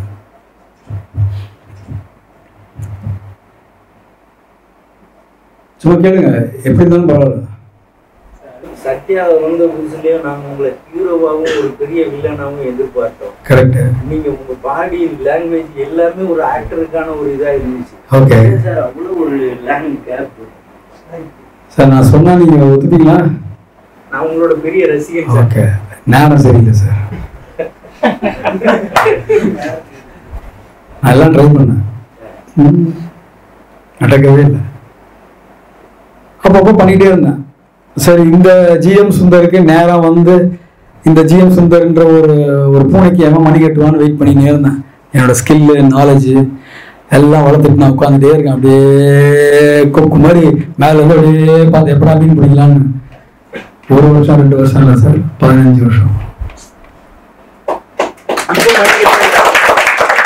ஸோ பதினைந்து வருடங்கள் நான் கம்மியாக சொல்கிறேன் மேலே ஏன்னா மனதை நம்ம தளரவிடாம ஒரு ஹோப்ஃபுல்லாக நம்மளால கம்பேக்ட் பண்ண முடியும். ஏ நான் பெரிய நடிகன்டா. ஏதாவது ஒரு ஜென்ரேஷன் எனக்கு பூனைக்கு மணி கட்டுவோம்னா நம்பினேன். நலன்குமார் குமாரசாமி வந்து எனக்கு பூனைக்கு மணி கட்டினார். அப்புறம் பா ரஞ்சித் சார் மணி கட்டினார் சர்பேட்டாவில் அஸ்வின் மோடன் வந்து மண்டேல எனக்கு சாந்தகுமார் சார் வந்து மகாமுனியில் பண்ணார். நான் ஏன் இதெல்லாம் சொல்றேன் அப்படின்னா நமக்கு எண்ணம் போல் வாழ்க்கைன்னு சொல்லுவோம். அதான் நான் முதலே சொல்றேன் தத்துவம்னு சொல்லிட்டேன். சில தத்துவத்தை நீங்க ஒத்துப்பீங்க ஒத்துக்க மாட்டீங்க அதெல்லாம் அடுத்தது நம்ம மேல நம்பிக்கை இருந்தால் நம்ம எதையாவது ஒரு நாள் வந்து நமக்கு அது கிடைக்கும். டைரக்ஷன் ஆகணுமா நீங்கள் ஆவீங்கன்றான் நீங்க சினிமா கட்ட ஆகணுமா கண்டிப்பா ஆவீங்கன்றான் மனசை தவற விடாதீங்க சமா கையில் காசு இருக்காது சாப்பாடு கஷ்டம் கல்யாணம் பண்ணி வச்சிட்டாங்க குழந்தை வந்துருச்சு ஸ்கூல் ஃபீஸ் கட்டணும் வீட்டு வீட்டு வாடகை கட்ட முடியாது. இது எல்லாமே இருக்குது எல்லாத்தையும் கடந்து தான் வந்திருக்காங்க. எல்லாம் பெயின் தான். பயங்கர பெயின் அவ்வளோ பெயின் ஸோ இந்த பெயின் எல்லாம் நம்ம ஓவர் கம் பண்ணி தான் இங்கே உட்காந்துருக்கேன் அதனால வந்து வாழ்க்கையை கண்டு பயப்படாதீங்க. நம்பிக்கை தான். என்னைக்காவது ஒரு நாள் எவனாவது வந்து நம்ம வேறு ஜென்ரேஷன் ரெண்டு ஜென்ரேஷன் ஆனால் கூட நமக்கு வந்து ஒரு சான்ஸ் கிடைக்கும் அப்படின்றது நான் வெயிட் பண்ணி என் ஸ்கில்லை வளர்த்துக்கிட்டு என் நாலேஜை வச்சுட்டு இருந்தனால தான் என்னால் பண்ண முடியும். அதனால நான் அடிச்சு சொல்றேன் நம்மளால பண்ண முடியும் நேரங்காலம் வரும்போது அது பிரதிபலிக்கப்படும் அவ்வளவுதான். நீங்க கேட்ட கேள்விக்கு எனக்கு தலையெழுத்து சரியில்லை இப்ப அவ்வளவுதான். சார் வணக்கம் சார். சார் இது பாடி லாங்குவேஜ் இம்ப்ரூவ் பண்ணுறது ஸ்கிரிப்ட் மெமரி. அப்புறம் தன் தனித்தன்மை மெயின்டைன் பண்ணுறது இந்த மூணும் தனியாக அது உங்களுக்கு உண்மையிலேயே யுனிக்னஸ்ஸாக இருக்கும் உங்களுது. ம். சில பேர் அந்த ஒரே மெத்தடில் தான் இருக்கும் படம். அது என்ன சில பார்த்துருக்கோம். லைவ்லியாகவும் இருக்கும். அந்த ரெண்டு மட்டும் சொல்லுங்கள் சார். நான் பண்ணது இல்லையா ஜென்ரலாக வந்து பாடி லாங்குவேஜ் வந்து ரொம்ப ரொம்ப ஒரு இம்பார்ட்டண்ட்டான ஒரு ஒரு விஷயம் அது. என்னன்னா பாடி லாங்குவேஜ் தான் வந்து it is communicating it is a communicating skill அது. இந்த பாடி லாங்குவேஜில் தான் பண்ணணும். ஜஸ்மன் மாரிஸ்னு ஒரு ரைட்டர் இருக்காரு முடிஞ்சா வாங்கி படிங்க. அவர் வந்து பழைய ஹிஸ்டாரிக்கல் பழைய சிவிலைசேஷன்ல இருந்து பாடி லாங்குவேஜ் எல்லாம் வந்து அவர் வந்து புக்காக எழுதியிருக்காரு எக்ஸ்பிரஷனாக எழுதியிருக்காரு. இதெல்லாம் வந்து நம்ம நான் படித்ததுனால நான் என்னை பற்றி சொல்லும்போது நான் படித்ததுனால எனக்கு இப்படி கை வச்சா என்ன? அப்படின்னா ரோடின் ரோடின் ஸ்கல்ப்சர் இருக்காரு ரெனேசான்ஸ் பீரியடில் பார்த்தீங்களா நான் பெயிண்டரு ரெனேசான்ஸ்ன்றது பாலிடிக்ஸு ரோடின்றது ஸ்கல்ப்சர் நான் கொண்டு வந்தேன்னா ரோடினை பற்றி எனக்கு தெரியலனா எப்படி வரும் அந்த எக்ஸ்பிரஷன் ஊருக்கு நூறு பேர் படத்தில் டெட் பாடி அவர் தோழரோட டெட் பாடி வாங்கிட்டு வரணும் தூக்கு அப்படி இருக்கும்போது நான் வந்து ஒரு பென்சிவ் மூடில் விவேகானந்தர் மாதிரி கை கட்டி உட்காந்துருப்பேன் விவேகானந்தர் ஐடியாலஜி வேறு அதெல்லாம் எடுத்துக்காதீங்க. பாடி லாங்குவேஜ்னு சொன்னா சொல்கிறேன் ஸோ அந்த கையை கட்டிட்டு ஒரு பென்சிவ் மூடில் உட்காந்து இந்த மாதிரி நிறைய விஷயங்கள் நம்ம ட்ரை பண்ணுறது தான் பார்க்குறது தான் ஓ இந்த ஆள் இப்படி பாடி லாங்குவேஜ் வச்சுருக்காருல்ல இவர் இப்படி உட்காராருல்ல இவர் இப்படி நிற்கிறாருல்ல இவர் இப்படி பேசுகிறாருல்ல இதுதான் சொன்னேன் முதல்ல ஆப்சர்வேஷன் நான் சொன்னேன். இந்த ஆப்சர்வேஷன் தான் கீ ஃபார் பாடி லாங்குவேஜ் அப்புறம் அதை ப்ராக்டிஸ் பண்ணணும். எப்படி சிவாஜி கணேசன் மாதிரி எட்டாம் கிளாஸில் ப்ராக்டிஸ் பண்ணணும்? யூல் பர்னர்னு ஒருத்தர் ஆக்டர் இருக்கார். யூல் பர்னர் வாக்கே டிஃப்ரெண்ட்டாக இருக்கும். ஹாலிவுட்டில் நிறைய பேர் இருக்காங்க. நான் வந்து சொல்லிட்டே போவேன் இதெல்லாம் நான் வந்து புரிஞ்சு நான் ப்ராக்டிஸ் பண்ணலன்னா ஒன்றுமே பண்ண முடியாது பாடி லாங்குவேஜில் அதனால் இப்போ வில்லேஜ்லேருந்து வரீங்க அப்படின்னா அந்த பாடி லாங்குவேஜ் எப்படி பேசுவான்? திருநெல்வேலி சைட்லேருந்து வரீங்க. என்ன டைலக்ட் அந்த டைலக்டோட டிக்ஷன் இன்டர்நேஷன் பேர் வாய்ஸ் மாடுலேஷனில் டிக்ஷன் இன்டர்நேஷன் பேர் பேர். அது வந்து குரோட்டாஸ்கின்ற ஒரு தேட்டர் பர்சனாலிட்டி போலீஸ் தேட்டர் அவர். அவர் வந்து மெயினாக அதை கான்சன்ட்ரேட் பண்ணார். டிக்ஷன் அண்ட் இன்டர்நேஷன் இதெல்லாம் படித்ததுனால ஓ ஓ இங்கேருந்து ஊர்லேருந்து வந்தால் இப்படி தான் பேசுவாங்களா இந்த டைலக்ட் அப்படின்னு ஓரளவுக்கு தெரியும். அப்புறம் அவன் ப்ராக்டிஸ் பண்ணணும் ஸோ ப்ராக்டிஸ் மேக்ஸ் பர்ஃபெக்ட் தான். பாடி லாங்குவேஜை பொறுத்த வரைக்கும். ஆனால் பாடி லாங்குவேஜ் தான் the communicating skill the communicating skill வேற என்ன கேள்வி கேட்டீங்க? ஆ இட்ஸ் கால்ட் ஸ்கிரிப்ட் மெமரி இல்லை இமோஷனல் மெமரி பேர். கரெக்ட் டைலாக் கொடுக்குறாங்கன்னு சொல்லுங்க ஆ அது. நான் அதான் உங்களுக்கு சொல்றேன் அதை வந்து நீங்க வந்து சில கண்டென்ட்டை உள்வாங்குறது இந்த இந்த இந்த நாலு லைன் வருதுன்னு வச்சுக்கோங்க எனக்கு. அந்த கேரக்டருக்கு நாலு லைன் வருது அப்படின்னா. இந்த நாலு லைனில் நான் எப்படி புரிஞ்சுக்கிறேன்றதான் பில்டிங்கை கேரக்டர் முதல்ல நான் சொன்னேன். இது எப்படி எப்படி உள்வாங்கிறது நாலு லைன் தான் அதை எது மெயின் வார்த்தை இது? அதில் அந்த மெயின் வார்த்தையை மட்டும் நம்ம ஸ்ட்ரெஸ் பண்ணணும். இது பண்ணணும். அப்புறம் டேரக்டர் வந்து சொல்லுவார் மூணாவது டேக்கில் வந்து இல்லை அதில் ஸ்ட்ரெஸ் பண்ணாதீங்க. எனக்கு இதில் ஸ்ட்ரெஸ்ஸிங் கொடுங்க. நான் அப்போ மாறும். அப்போ நான் ஓப்பன் மைண்டாக இருந்தால் இருந்தால் தான் என்னால் இந்த டைலாக்கு மாற்றி அந்த டைலாக்கு இந்த ஸ்ட்ரெஸ் இன்டர்நேஷனல் டிக்ஷன்லேருந்து அந்த வார்த்தைக்கான இன்டர்நேஷன் அதனால் and actor should be relaxed ரிலாக்ஸாக இருக்கணும். ரிலாக்ஸாக இருந்தால் தான் அவங்க டைலாக் கொடுப்பாங்க. டேரக்டர் என்ன வேணுன்றதை நீங்கள் புரிஞ்சுக்க முடியும். ஆக்டர் ரீக்ரியேட்ஸ் அகைன் ஸ்டானிஸ்லாஸ்கி நான் என்ன பண்ண முடியும் அந்த கேரக்டரில் இந்த லைனை எப்படி சொன்னால் எப்படி போய் ரீச் ஆகும்? அப்படின்றது என் வேலை நடிகரோட வேலை அது. ஸோ இதெல்லாம் ஃபஸ்ட்டு பேசிக்கான விஷயம் ரிலாக்ஸ் இருக்கலாம் நான் வந்து புண்ணிய மணலில் டென்ஸ்டாக இருந்த மாதிரி ஆயிந்து ஆயிந்து வச்சுங்க. முதல் படத்தில். நடிக்க முடியாது. ஸோ இப்போ நான் ரிலாக்ஸ்டாக இருக்கேன். எக்ஸ்பீரியன்ஸ் ஆகி படித்து நிறைய ரிலாக்ஸாக இருக்கேன். நீங்கள் டைலாக் சொல்கிறீங்கன்னா அப்படி கேட்டுவேன் ஓ இதான் சொல்கிறாரு இதான். இதுக்கு இந்த பாடி லாங்குவேஜ் கரெக்டாக இருக்குமா? இது கரெக்டாக இருக்குமா? இந்த நம்ம ஊர் ஈத்தாசுக்கு இது வருமா? வராதா? இதில் செஸ் பண்ணலாமா? டேரக்டர் வேணாம் அது கொடுன்னு அப்போ நீங்கள் மாற்றிக்கணும் நீங்கள் ரிஜிட்டாக இருந்தீங்கன்னா அதே டைலாக் தான் வரும். அங்கே தான் செஸ் பண்ணிட்டே இருப்பீங்க. அதனால் ஓப்பனாகவும் இருக்கணும். ரிலாக்ஸ்டாகவும் இருக்கணும். பாடி லாங்குவேஜ் தான் தி கம்யூனிகேட்டிங் ஸ்கில்லு இப்படி இருந்தால் தான் உங்களுக்கு கேமரா வந்து நடிப்பே வரும். இல்லைன்னா வராது. ரிலாக்ஸ்டாக இருக்கணும். இல்லைன்னா வேர்த்து ஊற்றி பாருங்க வேர்த்து ஊற்று பாருங்க. அது மாதிரி வேர்த்து ஊற்றி இது மாதிரி ஆகிடும் அதனால் இதெல்லாம் நான் அனுபவிச்சிருக்கேன். அதுக்காக சொல்கிறேன் கேட்குறது சொல்லுங்கள் அப்படி சொல்லுங்கள் டேரக்டர்ஸ்ல எல்லா மூவிலும் கேமியோ ரோல் அப்பப்போ ஒரு சீனில் வந்துட்டு போவாங்க சார். இப்போ எக்ஸாம்பிள்னா துப்பறி வரலான்ல மிஸ்கின் சார் ஒரு சீன் இருப்பார். ஒரு ஹாஸ்பிட்டல் டென்டல் ஹாஸ்பிட்டலில் வந்து எல்லாரும் ரிசப்ஷன் உட்காந்துருப்பாங்க அவர் வந்து ஒரு புக்கு வச்சு படிச்சுட்டு இருக்க மாதிரி ஒரு சீன் பின்னாடி உட்காந்துருப்பாரு மாஸ்டரில் லோகேஷ் கண்ணகர் சார் வந்து கிளைமேக்ஸில் வருவார். கேஎஸ் ரவிக்குமார் சார் மோஸ்ட்லி எல்லா சீன்லையும் வருவார் எல்லா மூவிலையும் எல்லா எண்டு கார்ட்லேயும் சரி இடையிலையும் வருவார். அது வந்து ஆடியன்ஸோட அட்டென்ஷனை கவர் பண்ணுறதுக்காக இல்லை ஆக்டிங் இன்ட்ரெஸ்ட் இருக்குன்னு காட்டுறதுக்காக அவங்க வந்து அந்த மாதிரி வராங்க சார்? நீங்கள் ஹிச்காக் ஃபிலிம்ஸ்லாம் பார்த்துருக்கீங்களா? ஹிச்காக் எல்லா படத்துலையுமே வருவார். எல்லா படத்துலையும் ஒவ்வொரு மாதிரி கதையை கோர்த்து சூட் போட்டு அவர் நடந்து நடந்து வருவார் அப்படி போவார் அப்படிலாம் பண்ணுவார். அப்புறம் பர்சூட் ஆஃப் ஹாப்பினஸ்னு ஒரு ஃபிலிம் இருக்கு நீங்கள் பார்த்துருக்கீங்கன்னு தெரியல.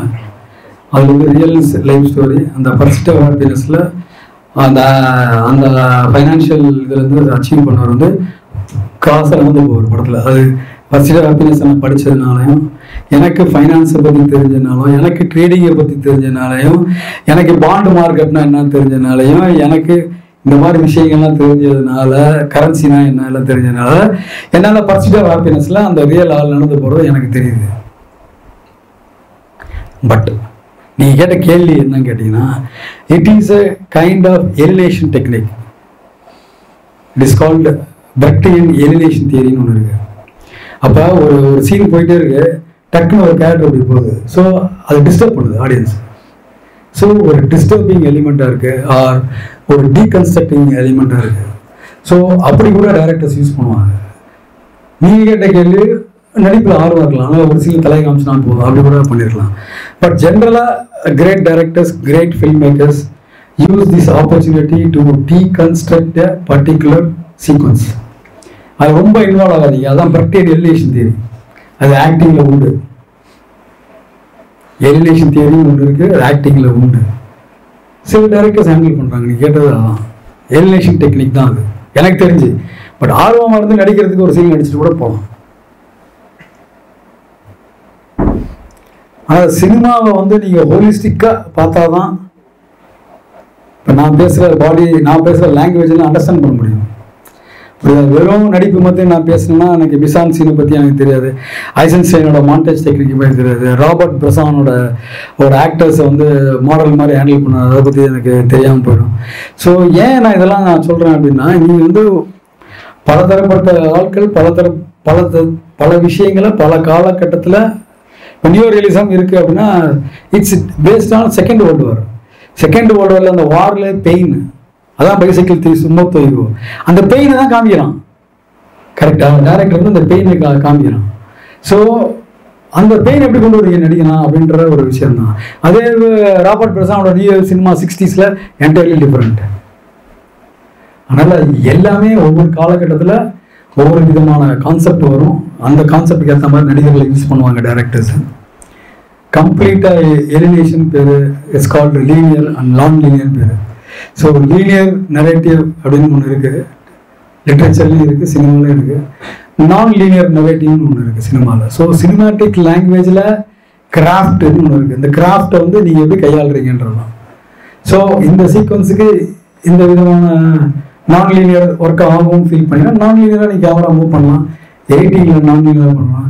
So if you watch Jean Luc Godard அவர் மாதிரி ஃபிலிம்லாம் பார்த்தீங்கன்னா it's most of films are non linear type பண்ணல ஸோ எல்லாத்தையுமே டீகன்ஸ்ட்ரக்ட் பண்ணுறது தான். நீ எல்லா எந்த கேள்வி கேட்டாலும் ஜான் லூ கூட டீகன்ஸ்ட்ரக்ட் பண்ணுறாரு அதனால் அது ஒரு ஸ்கூல் அவரும் நியூ இயர் சினிமா தான். அவரும் ஒரு ஸ்கூல் அதனால் டேரக்டர்ஸ் வராங்க நடந்து போகிறாங்கன்னா ஒவ்வொருத்தர் ஹிச்காக் யூஸ் பண்ணுற லாங்குவேஜ் வேறு. பர்சிட் ஆஃப் அந்த டேரக்டர் அந்த ஒரிஜினலாக கொண்டு வருது டேஞ்சென்ட்டாக நடந்து போகுது ஹிச்காக் கேமரா ஆங்கிளில் டேஞ்சென்ட்டாக இருக்குது ஃப்ரேம் இப்படி தான் ஆனால் டேஞ்சென்ட்டாக நடந்து போகுது அந்த கேரக்டர் ஏன் டேஞ்சென்ட்டாக நடந்து போகுது? இப்படியான கேள்விகள்லாம் வரும். அதெல்லாம் நம்ம பேசினா அது வேறு மாதிரி டிஸ்கஷன் போயிடும் அது. ஸோ நீங்கள் கேட்ட கேள்விக்கு அதான். இப்போ நீங்கள் சொல்லிகிட்டே இருந்தீங்க சினிமாவுக்குள்ளே வரணும் நாற்பது வயசுக்கு மேலே வந்தால் தான் பண்ண முடியும். அப்போ தான் வந்து வாழ்க்கையில் நடந்து எல்லாமே கடந்து வந்தது மாதிரி இருக்கும்னு சொன்னீங்க. அதே நீங்கள் பேசும்போது வந்து பார்த்தீங்கன்னா சார் ஒரு கொஷின் கேட்டாங்க. அப்போ எனக்கு டைம் சரியில்லை அப்படின்னு சொன்னீங்க. ஒன்று ரெண்டாவது என்னென்னா கான்ஃபிடெண்ட்டாக நம்ம வந்து ஸ்டெப்ஸ் மூவ் பண்ணால் அது வந்து சக்ஸஸாக வந்து சக்ஸஸ் ஆகும் அப்படின்னு சொன்னீங்க. சரிங்களா? என்னோட பேர் சம்சுதீன் சார் எல்லாரும் வந்து சின்ன வயசுலேருந்து நீங்கள் சொன்ன மாதிரி விதை போட்டு அப்படி வந்த கூட இருப்பாங்க. இன்னொன்று வந்து சினிமாக்குள்ளே போட்டு நிறைய முயற்சி நிறைய ஆசைப்படுவாங்க. பட் அதுக்கு உள்ளே போகும்போது தான் நம்மளுக்கு சுச்சுவேஷன் தெரியும். சரிங்களா? அந்த மாதிரி இருந்து முழுமையாக சினிமாவுக்குள்ளே போக போகிறோம் நமக்கு என்ன ஆனாலும் சரி நம்ம அதில் போய் தாண்டா இருக்கணும். செத்தாலும் சரி பொழைச்சாலும் சரின்ட்டு கான்ஃபிடெண்ட்டாக நான் வந்து இறங்குது. ரெண்டாயிரத்தி இருபத்தி ஒன்று பிப்ரவரி அஞ்சாந்தேதி வந்தேன் சார் நான் முயற்சிகள் பண்ணேன். பண்ணிவிட்டு ஏதோ ஒன்று சினிமாவில் பண்ணியிருக்கேன்னு வச்சுங்களேன் பண்ணிவிட்டு ரெண்டாயிரத்தி இருபத்தொன்று பிப்ரவரி மாதம் அஞ்சாந்தேதி வந்து வரேன். ரெண்டாயிரத்தி இருபத்தி ரெண்டு பிப்ரவரி ஆறாந்தேதி வந்து நான் பண்ண ஃபஸ்ட்டு படம் ரிலீஸ் ஆகுது. படம் ரிலீஸ் ஆகுது. இது மேற்கொண்டு நிறைய பண்ணியிருக்கேன். பட் நான் வந்து சினிமாக்குள்ளே வந்து அந்த ஒன் இயரில் என்ன பண்ணேன் அப்படின்னு நான் வந்து பண்ணியிருக்கேன். இது வந்து என்னோடய என்னோட ஹார்ட் ஒர்க்குன்னு சொல்கிறீங்களா இல்லை வந்து என்னுடைய அந்த தலை எழுத்துன்னு சொன்னீங்களா? அது அப்படின்னு சொல்கிறீங்களா சார் நான் முதல்ல சொன்ன வார்த்தை எல்லாம் உண்மைதான். நான் எதையுமே வாக் அவுட் பண்ண மாட்டேன். உங்களுக்கு ஷாக்கிங்காக இருக்கும். எனக்கு அஸ்ட்ராலஜி முப்பத்தஞ்சு வருஷமாக நான் ப்ராக்டிஸ் பண்ணுறேன் உங்களால் நம்ப முடியுதா? அதை தான் நான் சொல்ல வரேன். கேளுங்க. ஏன் அஸ்ட்ராலஜி படிக்கக்கூடாது? உங்களை யார் படிக்க வேணாம்னு சொன்னா? ரேஷனல் தியரி தான் கரெக்ட்னு யார் சொன்னா? ரேஷனல் லாஜிக்ஸ் தான் கரெக்ட் லிக்விட் லிக்விட் ஃபிகிங்ஸ் பேர். லாஜிக் ஸ்கூல் ஆஃப் லாஜிக் அதான் கரெக்ட்னு யார் சொன்னா? போஸ்ட் மாடர்னிசம் இருக்கு ஸ்ட்ரக்சரலிசம் இருக்கு போஸ்ட் மாடர்னிசம் இருக்கு. இதான் கரெக்ட்னு யார் சொன்னா? இல்ல ரீசனிங் அவுட் சாத்திரை சொல்ற ரீசனிங் அவுட் அதான் கரெக்ட்னு யார் சொன்னா? நான் என்ன சொல்றேன் அப்படின்னு கேட்டீங்கன்னா நான் வாழ்ந்த வாழ்க்கையில இது ஜோஷிகாரனும் இருக்கிறான் ஜோஷியமும் இருக்கு. கரெக்டா என்னோட உண்மையான தேடலும் இருக்கு. அதனால நான் தோல்வியும் அடைஞ்சிருக்கேன் சக்ஸஸையும் நான் பார்த்துருக்கிறேன்.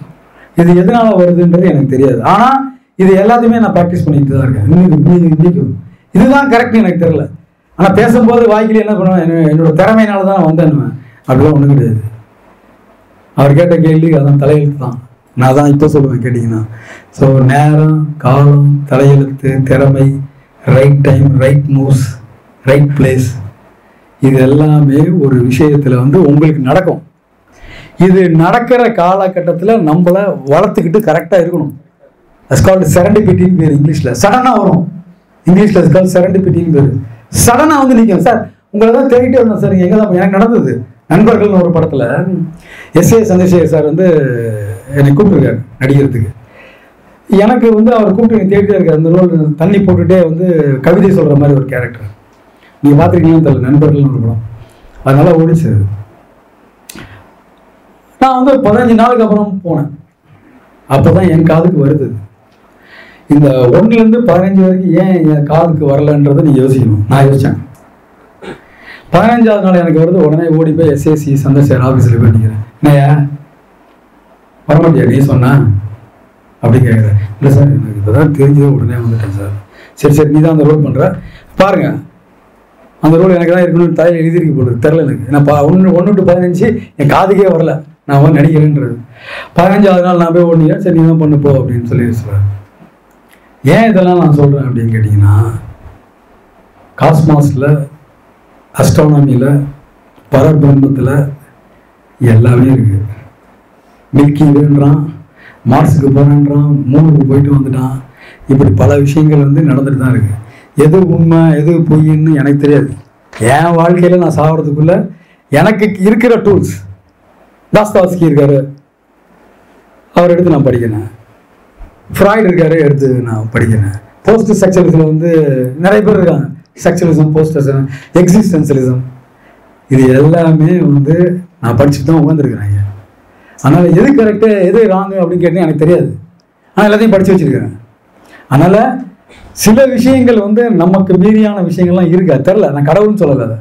I didn't say it is கடவுள் ஆர் அதை தான் நான் சொல்கிறேன் அது கடவுள்னு நான் சொல்ல மாட்டேன். எனக்கு வந்து ஃபினான்ஸில் வந்து ஜார்ஜ் சொரோஸ்னு ஒருத்தர் தான் எனக்கு காட் ஃபாதர் நான் வந்து ஜார்ஜ் சொரோஸோட ஆர்டர் ஃபேன் இட்ஸ் ஜூ அவர் வந்து ஃபைனான்ஷியல் மார்க்கெட்டை பற்றி சொல்லுவார். அவரே ஒன்று சொல்லுவார் என்னன்னா கடவுள்னு சொல்ல மாட்டார் இட்ஸ் கால்ட் அப்ஜெக்டிவ் ரியாலிட்டின்னு வரும் அப்ஜெக்டிவ் ரியாலிட்டி அக்கார்டிங் டு ரெண்டன் மார்டின் ஆக்ஸ்போர்ட் டிக்ஷனரியில் வேற மீனிங் அவர் சொல்றது வேற மீனிங் அப்ஜெக்டிவ் ரியாலிட்டி வந்து உங்கள் உங்கள் மீறியான ஒரு விஷயம்தான்.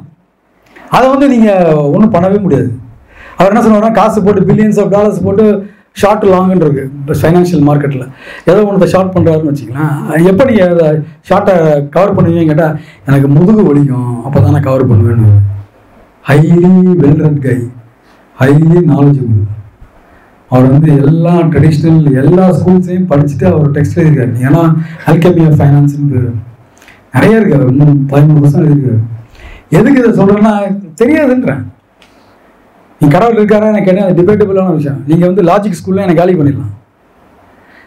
இரேஷனாலிட்டின்னு ஒன்று இருக்குது இப்போ பெயிண்டிங்கில் நான் சொன்ன அப்சாக்ட் இருக்காரு கண்டென்ட் ஸ்கீம் இருக்காரு அப்சாக்ட் பெயிண்டிங் இதெல்லாம் இருக்கா சார்? அப்படின்னு கேட்டிங்கன்னா வேணா ஒருத்தன் வரைஞ்சிட்டு போயிருக்கான் சார். நான் என்ன சொல்கிறது நமக்கு புரியல நமக்கு தெரியலன்றதுக்காக கண்டென்ஸ்கி இல்லைன்னு சொல்ல முடியாது ஃப்ராய்டு இல்லைன்னு சொல்ல முடியாது டாலி இல்லைன்னு சொல்ல முடியாது.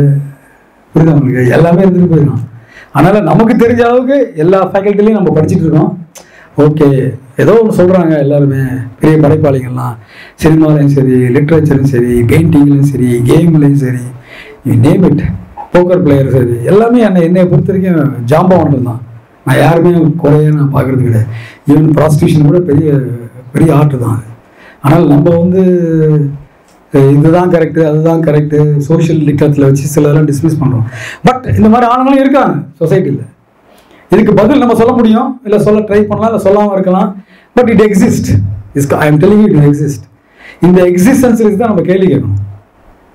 அது என்ன எனக்கு புரிஞ்சுதுன்றது வேற உங்களுக்கு என்ன புரிஞ்சுதுன்றது எனக்கு புரியல பட் நான் சொன்னதெல்லாம் இப்பவும் சொல்கிறேன் என்னை பொறுத்தவரைக்கும் அதெல்லாம் உண்மை ஸோ அதை நீங்கள் கடவுள்னு சொன்னீங்க. ஆனால் அப்ஜெக்டிவ் ரியாலிட்டின்னு இங்கிலீஷில் சொல்லிக்கலாம். தலையெழுத்தும் சொல்லிக்கலாம். என்ன வேணால் சொல்லிக்கலாம். ஹார்ட் ஒர்க்கும் இருக்குது அதுவும் இருக்குது நான் சொன்ன ரோஜர் ஃபெடரும் இருக்கார். ஸ்டாலிஸ் லாஸ்கியும் இருக்கார். பம்மல் சம்பந்த முதலியாரும் இருக்கார். கந்தசாமி முதலியாரும் இருக்கார். சிவாஜி கணேசனும் இருக்கார். மாலன் பிராண்டும் இருக்கார். ரம்பிராண்டும் இருக்காரு. பெயிண்டரு தாஸ்தாஸ்கியும் இருக்கார்.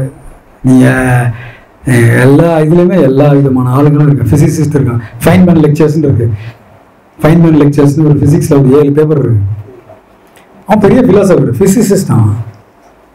ஸோ எதுக்கு நான் சொல்லுன்னா எங் எந்த புத்துலேருந்து எந்த பாம்பு இருக்குன்னு நமக்கு எப்படி தெரியும்? எல்லாத்தையும் நம்ம படித்தாதான் ஓரளவுக்கு ஏதோ ஓரளவுக்கு.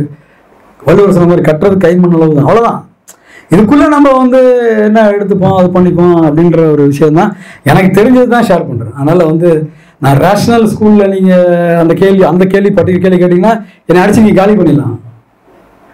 ஆர் லாஜிக்ஸில் போனீங்கன்னா காலி பண்ணிடலாம். ஆர் ரீசனிங்கில் போனீங்கன்னா அந்த தியரியை காலி பண்ணிடலாம். பாசிபிலிட்டி இருக்கு. ரீசனிங்கும் இருக்கு லாஜிக்கும் இருக்கு. அது வந்து நேச்சுரல் சயின்ஸை நான் பிரித்து வச்சிருக்கேன். மாலிகூல்ஸ் ஆட்டம் வேவ் தியரி அது என்டையர்லி டிஃப்ரெண்ட் மேத்தமெட்டிக்கல் அது. ஸோ இப்படியான பல விஷயங்களை நம்ம தெரிஞ்சிட்டாதான் ஒரு விஷயத்தான். நான் அன்சர்டனிட்டி பிரின்சிபல்னு ஒன்று இருக்குது ஃபிசிக்ஸ்லேயும் இருக்கு அன்சர்டனிட்டி பிரின்சிபல் இருக்குது சோஷியல் சயின்ஸ்லேயும் அன்சர்டனிட்டி பிரின்சிபல் இருக்குது ஸோ எதை வேணால் நீங்கள் எப்படி வேணால் லிங்க் பண்ணணும் லிங்க் பண்ண கற்றுக்கணும் அவ்வளோதான் அதான் சார் இப்போ வந்து பார்த்தீங்கன்னா அந்த மாதிரி உங்ககிட்ட ஃபர்ஸ்ட் கேட்டிருந்தேன். ஆடிஷன் அட்டன் பண்ணி நிறைய ரிஜெக்ஷன் வந்திருக்கு. பட் வந்து அந்த லொக்கேஷனில் போயிட்டு நான் சான்ஸ் நிறைய எடுத்துருக்கேன் எனக்கு கொடுத்துருக்காங்க. அப்படி போது பெருமையாக சொல்லவில்லை நான் அதிகபட்சமாக வந்து மூணு டேக் தான் வாங்கியிருப்பேன். அதுவும் வந்து பார்த்தீங்கன்னா என்னோட க்ளோஸ் வச்சதுனால கிடையாது. சுற்றி இருக்க ஆர்டிஸ்ட் வந்து சரியாக பண்ணலாம்னா அது ரீடேரிங் அப்படின்னு போயிருக்கோம்.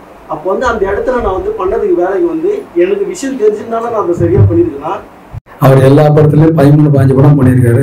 மினிமம் முப்பத்தாறு டேக் எடுப்பார். என்ன அர்த்தம்? தொசிகோ மாஃபி முப்பத்தாறு டேக்கு சும்மா கிடையாது. ஏன்னா டேரக்டர் சொல்கிறாரு யார்?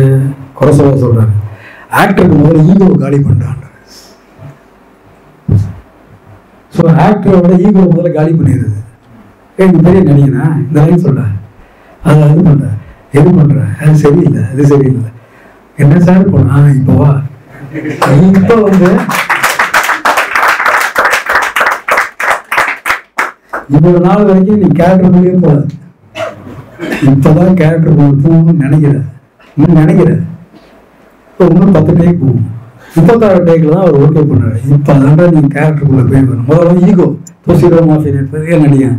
சிவாஜி கணேசன் பெரிய நடிகன். சுந்தர் ஜீம்சன் பெரிய நடிகன். ஒரு கிடையாது. டேரக்டர் என்ன சொல்றாரு ஃபர்ஸ்ட் குறைச வந்து உங்களை காலி பண்ணிட்டாரு. உங்க ஈகோவை கரெக்டா நீங்க கேட்ட கேள்வி என்ன அப்படின்னு கேட்டீங்கன்னா நீங்க மூணு டேக்ல முடிச்சாலும் பெரிய அச்சீவ்மெண்ட் தான். முப்பத்தாறு டேக்ல கொரசோவா ஆக்டரோட ஈகோவை காலி பண்ணி முப்பத்தாறாவது டேக்ல ஓகே பண்ணாலும் எண்ட் டே ஸ்க்ரீனில் என்ன வருது? முப்பத்தாறாவது டேக் தான் வருது. முப்பதாவது முப்பது டேக் என்ன ஆச்சு நீங்க பாத்துருக்கீங்களா அதனால நீங்க பண்ண மூணு டேக் ரெண்டு டேக் நீங்க பாத்துருக்கீங்களா இல்ல சார் இல்ல. ஏன்? இதை நான் சொல்றேன் அப்படின்னா எந்த டேக்கு டைரக்டருக்கு எடிட் பண்ணும்போது கரெக்டாக உட்காருதுன்றத டைரக்டர் வந்து டிசைட் பண்ணக்கூடிய ஒரு விஷயம். அதனால உங்க கேட்டுக்க கேள்விக்கு பதில் உங்க திறமையும் அதில் இருக்கு. நேரமும் இருக்கு. என்னோட பதில் அதான் ஆனா நான் சொல்ற நம்பாதீங்க.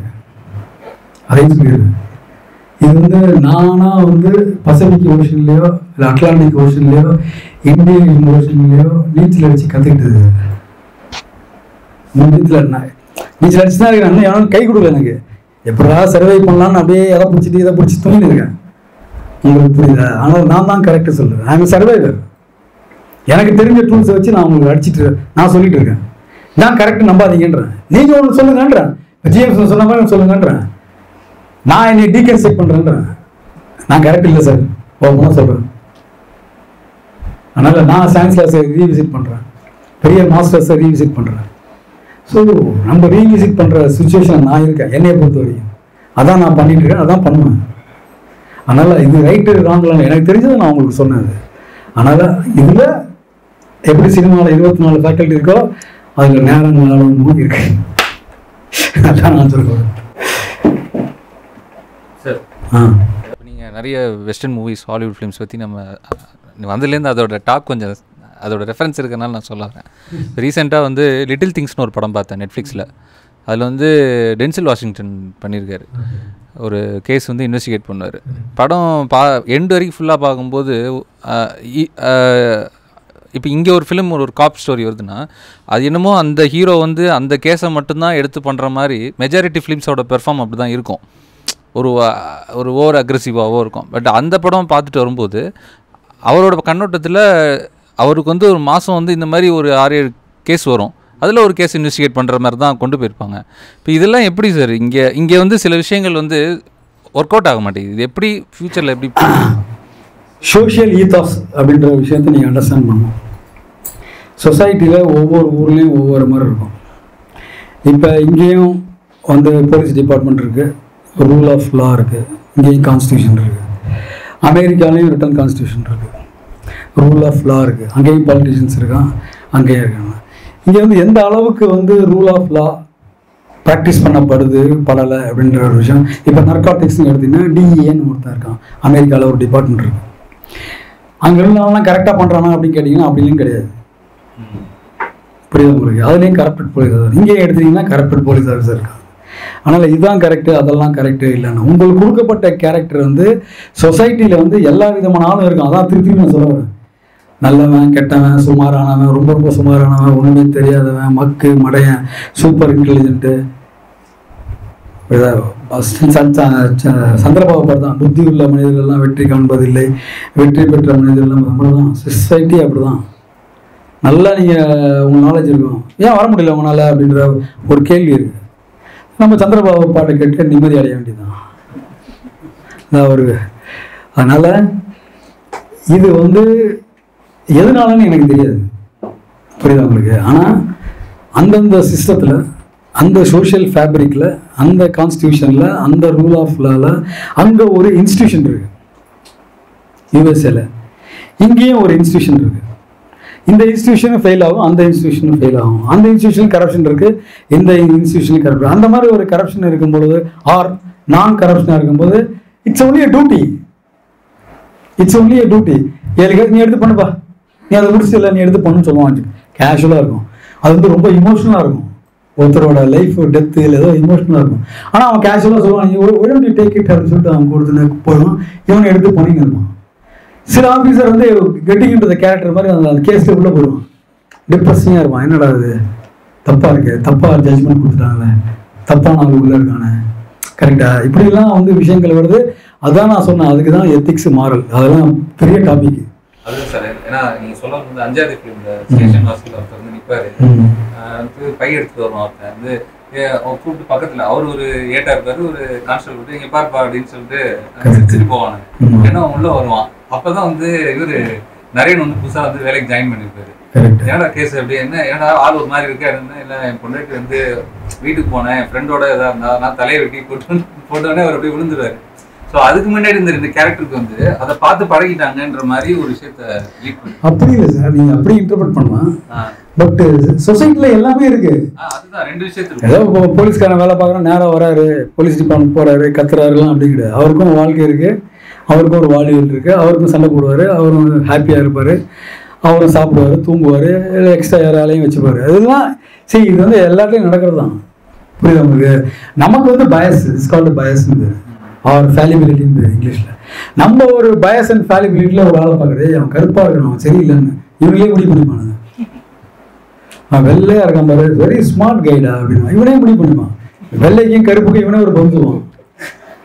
கரெக்டா வெள்ளையா இருக்கவன் ஸ்மார்ட்டு கருப்பா இருக்கவன் வந்து கிரிமினல் அப்படின்னு.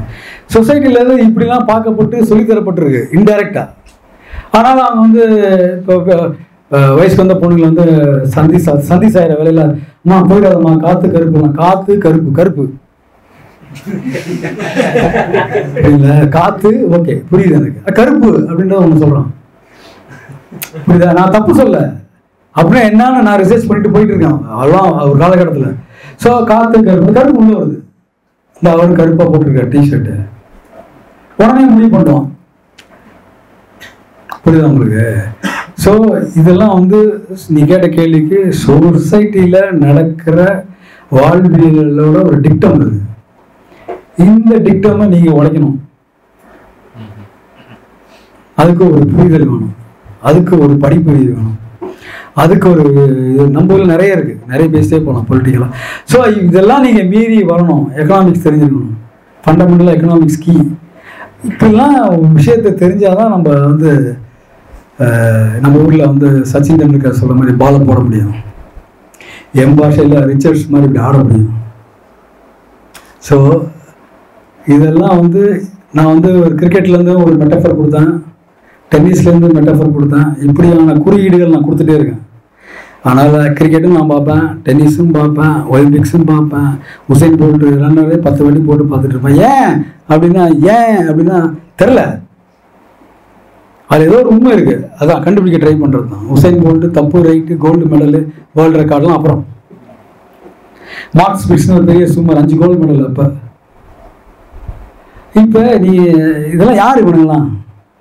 அப்படின்ற கேள்வி தான் வெறும் ஸ்கில்லை வச்சுட்டு அடிச்சிட முடியுமா? அஞ்சு கோல்டு மெடல் பத்து gold medal it's not highly impossible something beyond that so ஸ்கில்லும் அவசியம் நாலேஜையும் அவசியம். கூட சொல்ல போனால் லக்ஷ்மண் ரேகாவும் அவசியம். இது எல்லாமே வந்து ஒரு காம்பினேஷன் தான் அது. எந்த காம்பினேஷனில் எது வேலை செய்யும் எது வேலை செய்யாதுன்னு எனக்கு தெரியாது. ஷிப்பு கண்டுபிடிக்கிறவர் சினிமா பற்றி எழுதியிருக்காரு. அது புக்கை படித்தா தான் உங்களுக்கு தெரியும். ஆன்டி குரூன் பேர். நீங்கள் பார்க்குற மொபைலில் சிப்பு எல்லாம் அவர் கண்டுபிடிச்சது தான் ஹங்கேரியன் ஜூ அமெரிக்காவுக்கு ஓடி வந்து படித்து கண்டுபிடிச்சது தான் ஸோ எல்லா அவர் பாருங்க சினிமா தெரிஞ்சு வச்சிருக்காரு. இப்போ நான் சொன்ன ஆக்டர் எல்லாம் தெரிஞ்சு வச்சுக்கணும். அவரு தெரிஞ்சு வச்சிருக்காரு. ஒரு சிப்பு மேனுஃபேக்சரர் எப்படி தெரிஞ்சு வச்சுருப்பான்? ஒரு இன்ஜினியரிங் ஸ்டூடெண்ட்டு ஏன் சொல்ல வரேன்னா இது வந்து எவ்வளவுக்கு தெரிஞ்சாதான் ஒரு எக்ஸாம்பிள் சொல்லி அதை புரிய வச்சு நம்ம சொல்ல முடியும். அவ்வளோதான் சவுண்டில் வந்து சவுண்ட் வந்தப்ப யார் யார் காலி ஆனாங்கன்னு சொன்னது நான் படித்தது ஆண்டி க்ரோவோட ஸ்விம்மிங் அக்ராஸ் புக்கில் தான். எப்படி சாப்ளின் எப்படி கிரீதா கார்பன் ஆண்டி க்ரோவை படிச்சீங்கன்னா அதான் சொல்கிறான் ஸ்விம்மிங் அக்ராஸ் சும்மா கிடையாது. சும்மன்றது வித் வேவ் இருக்குது against the wave swimming across அப்படின்னா வாழ்க்கை எவ்வளோ பார்த்துருப்போம் பாருங்க. டேனியல் பிரிவரில் சும்மிட்டு வருவான். இதெல்லாம் பேசிட்டே போகலாம் அதனால் உங்களுக்கு எது இன்ஸ்பைரிங்காக இருக்குது உங்களுக்கு எது பிடிச்சிருக்கு? உங்களுக்கு வாழ்க்கையில் யார் ஜெயிச்சவன் நினைக்கிறீங்க? அவன் புக்கெல்லாம் படிங்க. அச்சீவ் பண்ணுங்க. தோத்தவங்களையும் படிங்க. தோத்து ஜெயிச்சவங்களையும் படிங்க. அதான் நான் சொல்றது. அவங்க மொத்தம் படிங்க. அதான்.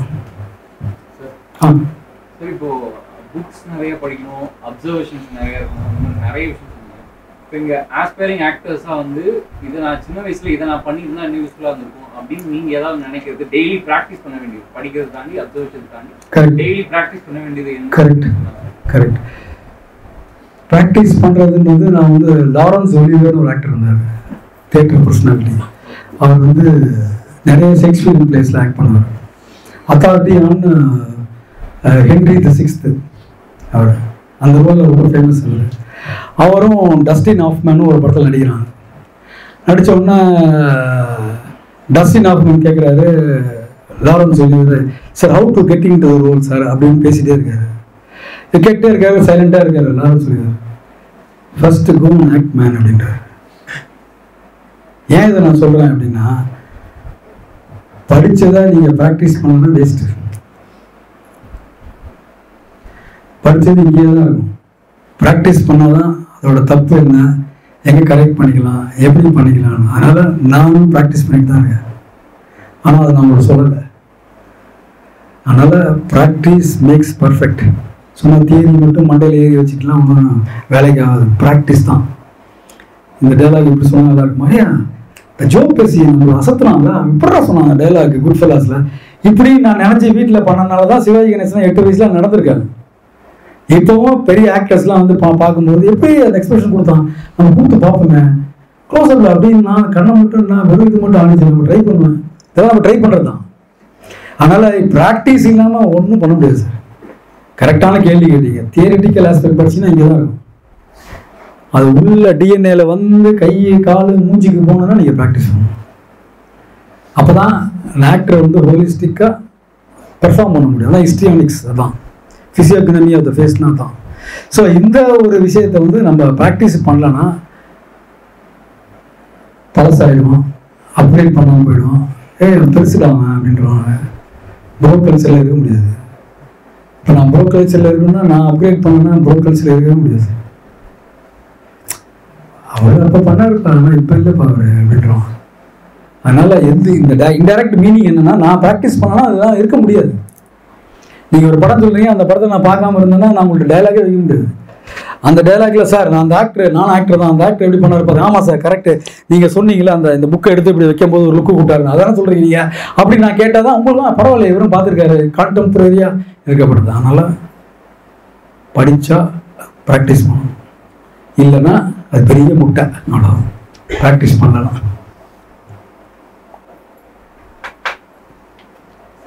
ஒரு ஒரு டே- ஒரு டேரக்டர் ஒரு படத்தில் ஒரு கேரக்டர் ஒரு ப்ரொஃபஷன் கொடுக்குறாங்க லைக் ஒரு போலீஸ் லாயர் டாக்டர் இந்த மாதிரி. அந்த கேரக்டர் அந்த சீன் அந்த டைலாக்கை தாண்டி அந்த ப்ரொஃபஷனை எந்த அளவுக்கு சார் ஸ்டடி பண்ணுவீங்க? நான் தான் சொல்றேன். இப்போ நான் ஒரு வேற ஏதோ ஃப்ரெண்டு கேஸுக்கு நான் கோர்ட்டுக்கு போறேன்னு வச்சுங்களேன் அப்போ லாயர் எப்படி பிஹேவ் பண்றாங்க நீங்க வந்து சீதக்காதின்னு ஒரு படம் இருக்கு. அதில் வந்து நான் வந்து சின்ன ரோல் தான் பண்ணியிருப்பேன் பட் அதில் வந்து ஒரு லாயர் ரோல் பண்ணியிருக்கேன் எக்ஸாம்பிள் சொல்றேன் உங்களுக்கு. அது எப்படின்னா டேரக்டர் வந்து இங்கிலீஷ் தப்பு தப்பா பேசணும் அப்படின்னாரு. என்னது? இங்கிலீஷ் தப்பு தப்பாக பேசணும் அப்படின்னாரு. ஆனால் டேரக்டர் வந்து எனக்கு இங்கிலீஷு கரெக்டாக கிராமட்டிக்கலாக கரெக்டாக எழுதி கொடுக்குறாரு. கமாவோட புருஷாப்போட டிக்ஷனோட சொல்லி தருது அந்த லைன் நான் தப்பு தப்பாக பேசணும். ஆனால் டேரக்டர் வந்து க்ளீனாக எழுதி கொடுக்குறாரு. உங்களுக்கு புரிஞ்சுட்டீங்களா? அதனால் நான் வந்து அவர் போய் ஹோம்ஒர்க் பண்ணிருக்காரு. டேரக்டர் போய் கோர்ட்டில் போய் உட்காந்து லாயர்லாம் எப்படி பேசுகிறாங்கன்னு ஹோம்ஒர்க் பண்ணிட்டு வந்து என்கிட்ட சொல்கிறாரு ஸோ எனக்கு பாதி வேலை மிச்சம். டேரக்டரே போய் ஹோம் ஒர்க் பண்ணி அவர் என்ன சொல்றாருன்னா இங்கிலீஷ் தப்பு தப்பா நீங்கள் பேசணும்.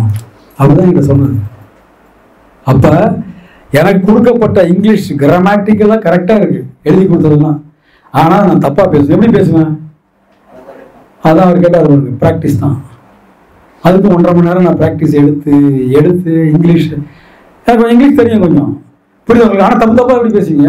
முதல்ல நான் இங்கிலீஷ் பேசும்போது எப்படி தப்பு தப்பாக வளரணேன் அந்த மாதிரி இப்போ நான் வளரணும் கோர்ட்டில் போய் ஜட்ஜுக்கு முன்னாடி. ஆனால் நான் இங்கிலீஷ் பேசுவேன். கான்ஃபிடென்ட்டாக பேசுவேன். தப்பான இங்கிலீஷு கான்ஃபிடென்ட்டாக நான் பேசுவேன். இதுதான் என் கேரக்டர் ஸோ இந்த மாதிரியான விஷயங்கள்லாம் நீங்கள் ஹோம்ஒர்க் பண்ணி அவர் சொன்ன மாதிரி ப்ராக்டிஸ் பண்ணாமல் ஆப்சர்வேஷன் பண்ணாமல் ரிட்டன்ஷன் பண்ணாமல் இமோஷனல் மெமரி அவர் கேட்ட மாதிரி இதெல்லாம் இல்லாமல் நடிக்கவே முடியாது. ரொம்ப டிஃபிகல்ட் நீங்கள் நூற்றம்பது டேக் வாங்கினாலும் நடிக்க முடியாது. அதனால் இதெல்லாம் நம்ம படங்கள் பார்க்குறோம் வாசிக்கிறோம் ரோட்டில் போகிறவங்கள பார்க்குறோம். எப்படி இடிச்சிட்டு போனாங்க சீட்லேயே நான் பார்த்துருக்குறேன். புரியுதா உங்களுக்கு? நீங்கள் எல்லாத்தையும் நீங்கள் பார்த்தா தான் ஒரு புரிதலே இருக்குன்றேன் ஆனால் நீங்கள் கேட்ட கேள்விக்கு டெஃபினட்டாக வந்து ஓரளவுக்கான ஒரு சின்ன லிட்டில் பிட் நாலேஜோடு சேர்ந்து அவர் சொன்ன மாதிரி ப்ராக்டிஸ் பண்ணி ஓரளவுக்கு இருந்தால் நம்ம ஸ்பாட்டில் போய் நம்ம வந்து டேரக்டர் சொல்கிறது கொஞ்சம் பெட்டராக பண்ண முடியும். அப்படிதான். டாஸ்க்கு பெரிய டஃப் டாஸ்க்கு ஆக்டருக்கு சாதாரண விஷயமே கிடையாது. கெட்டிங் இன் த ரோல் வந்து ஆக்டருக்கு வந்து ஒரு ஷார்ட் டைமில் வந்து இட்ஸ் வெரி டிஃபிகல்ட் ப்ராசஸ் அதனால் ஆக்டர்லாம் வந்து இவங்க சொல்லுவாங்க நல்ல சம்பளம் வாங்குறாரு அப்படி வாங்குறது இட்ஸ் வெரி டிஃபிகல்ட் குட் ஆக்டர்லாம் வந்து பெர்ஃபார்ம் பண்ணுறான்னா டெடிக்கேட்டடாக கேரக்டருக்குள்ளே போய் பெர்ஃபார்ம் பண்ணுறான் ரொம்ப டிஃபிகல்ட் கேட்டால் என்னை மாதிரி ஏதாவது சொல்லியிருப்பான். நம்ம ஒத்துப்போம் ஒத்துக்க மாட்டோம் அது அடுத்தது. அவன் ஒரு எக்ஸ்பீரியன்ஸில் ஒன்று சொல்லியிருப்பான். சார் இப்போ ஸ்டானிஸ்லாவ்ஸ்க்கு எனக்கும் ரொம்ப பிடிக்கும். அவருடைய நானும் மிகப்பெரிய ரசிகன். சூப்பர். ஒரு கதாபாத்திரத்தை வடிவமைத்தில் அந்த புக்கு படிச்சிருக்கேன். ரொம்ப நல்லா இருக்கும் இப்போ உங்களுடைய லைஃப்பில் நீங்கள் வந்து ஸ்டானிஸ்லாவ்ஸ்க்கு வந்து அவருடைய மெத்தடை எப்படி அப்ளை பண்ணுறீங்க இன்னொரு கொஷின் சார் வந்து இப்போ நம்ம தமிழ் சினிமாவில் வந்து ஒரு ப்ரொஃபஷனலாக ஆக்டிங்கை கற்றுக்கிட்டு ஒரு கேரக்டராக அந்த படத்தில் அவங்க இருப்பாங்க. அப்படி இருக்கிற ஒரு ஆக்டருக்கும் வெறும் டயலாக் மட்டுமே பேசிட்டு மாசா அந்த மாதிரி பண்ணுற ஒரு ஆக்டரை நீங்கள் உங்களுடைய பார்வையில் எப்படி சார் பார்க்குறீங்க? அதுதான் கேட்குறேன் நான் வந்து ஒரே ஒரு பார்வை தான் இந்த கேரக்டருக்கு எப்படி நான் ஜஸ்டிஃபை பண்ணுறது அப்படின்றது தான் இப்போ காதலும் படந்து போகல நீங்கள் பார்த்தீங்க அப்படின்னா. அப்பா கொஞ்சம் நடுவில் நிற்கிறா இவங்களாம் தெரியல. கொஞ்சம் என்ன நீங்கள் பார்த்தீங்கன்னா விஜய் சேதுபதி சாரோட பேர் வந்து கதிர் படத்தில். எங்கள் எங்கள் வீட் கதையில் வந்து சீக்வன்ஸில் வந்து அந்த சீனில் வந்து எங்கள் வீட்டுக்கு எழுத்து வீட்டில் இருக்கவர் எங்கிட்ட ஒரு ஹெல்ப் கேட்டு வந்திருப்பார். நான் வந்து ஒரு இதாக இருப்பேன். எம்எல்ஏவாக இருப்பேன். ஒரு ஹெல்ப் கேட்டு வராரு. எனக்கு வந்து அடியாள் மாதிரி விஜய் சேதுபதி சார் இருப்பார். அவரை கூப்பிட்டு பண்ணணும். டயலாக் ஒன்றும் இல்லை. இங்கே வா. என்னது? டயலாக் இங்கே வா. அதுக்கப்புறம் டயலாக் பேச போகிறேன் இங்கே வா அப்படின்னு. அவர் வந்து விஜய் சேதுபதி பின்னாடி இருப்பார். இப்போ நான் என்ன பண்ணேன்னு நினைக்கிறீங்க? இதுதான் நான் பண்ணேன்.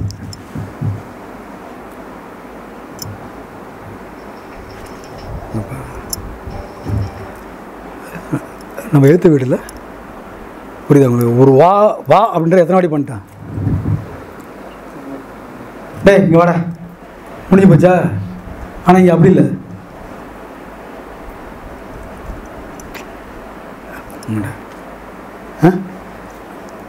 அங்கே உட்காந்துருக்காரு நாங்கள் உட்காந்துருக்கிற பேர் கூட சொல்ல கை தான் காமிக்கிறேன் அதுக்கப்புறம் தான் டைலாக் பேசுகிறேன் ஒரு வா எழுத்து வீட்டில் இருக்கவர் வந்து வேலை கேட்டு வந்திருக்காரு. அதை நீ பண்ணிக்கூட கொடு. அப்போ இன்னும் நிற்க என்ன?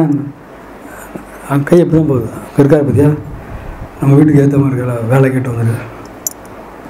பார்த்து பண்ணி கொடு தான் லைனு இதை பாருங்க அதான்.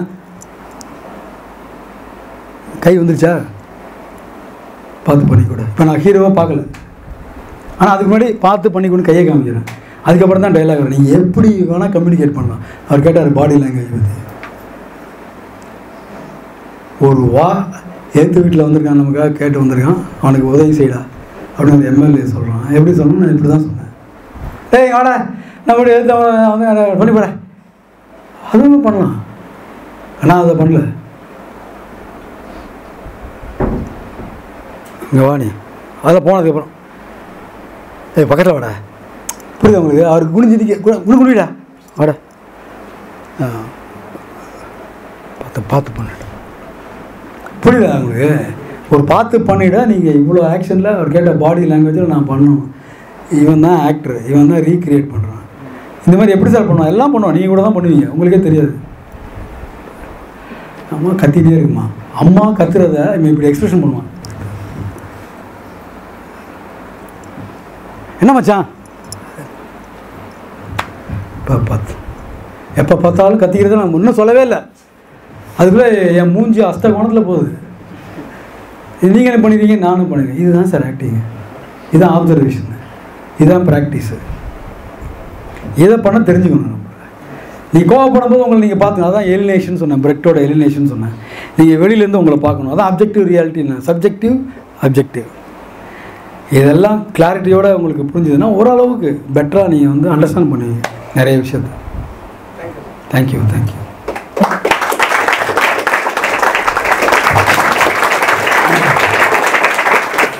அருண் கூப்பிட்டாரு என்னைய கூப்பிட்டு நீங்கள் பேசணும் அப்படின்னாரு.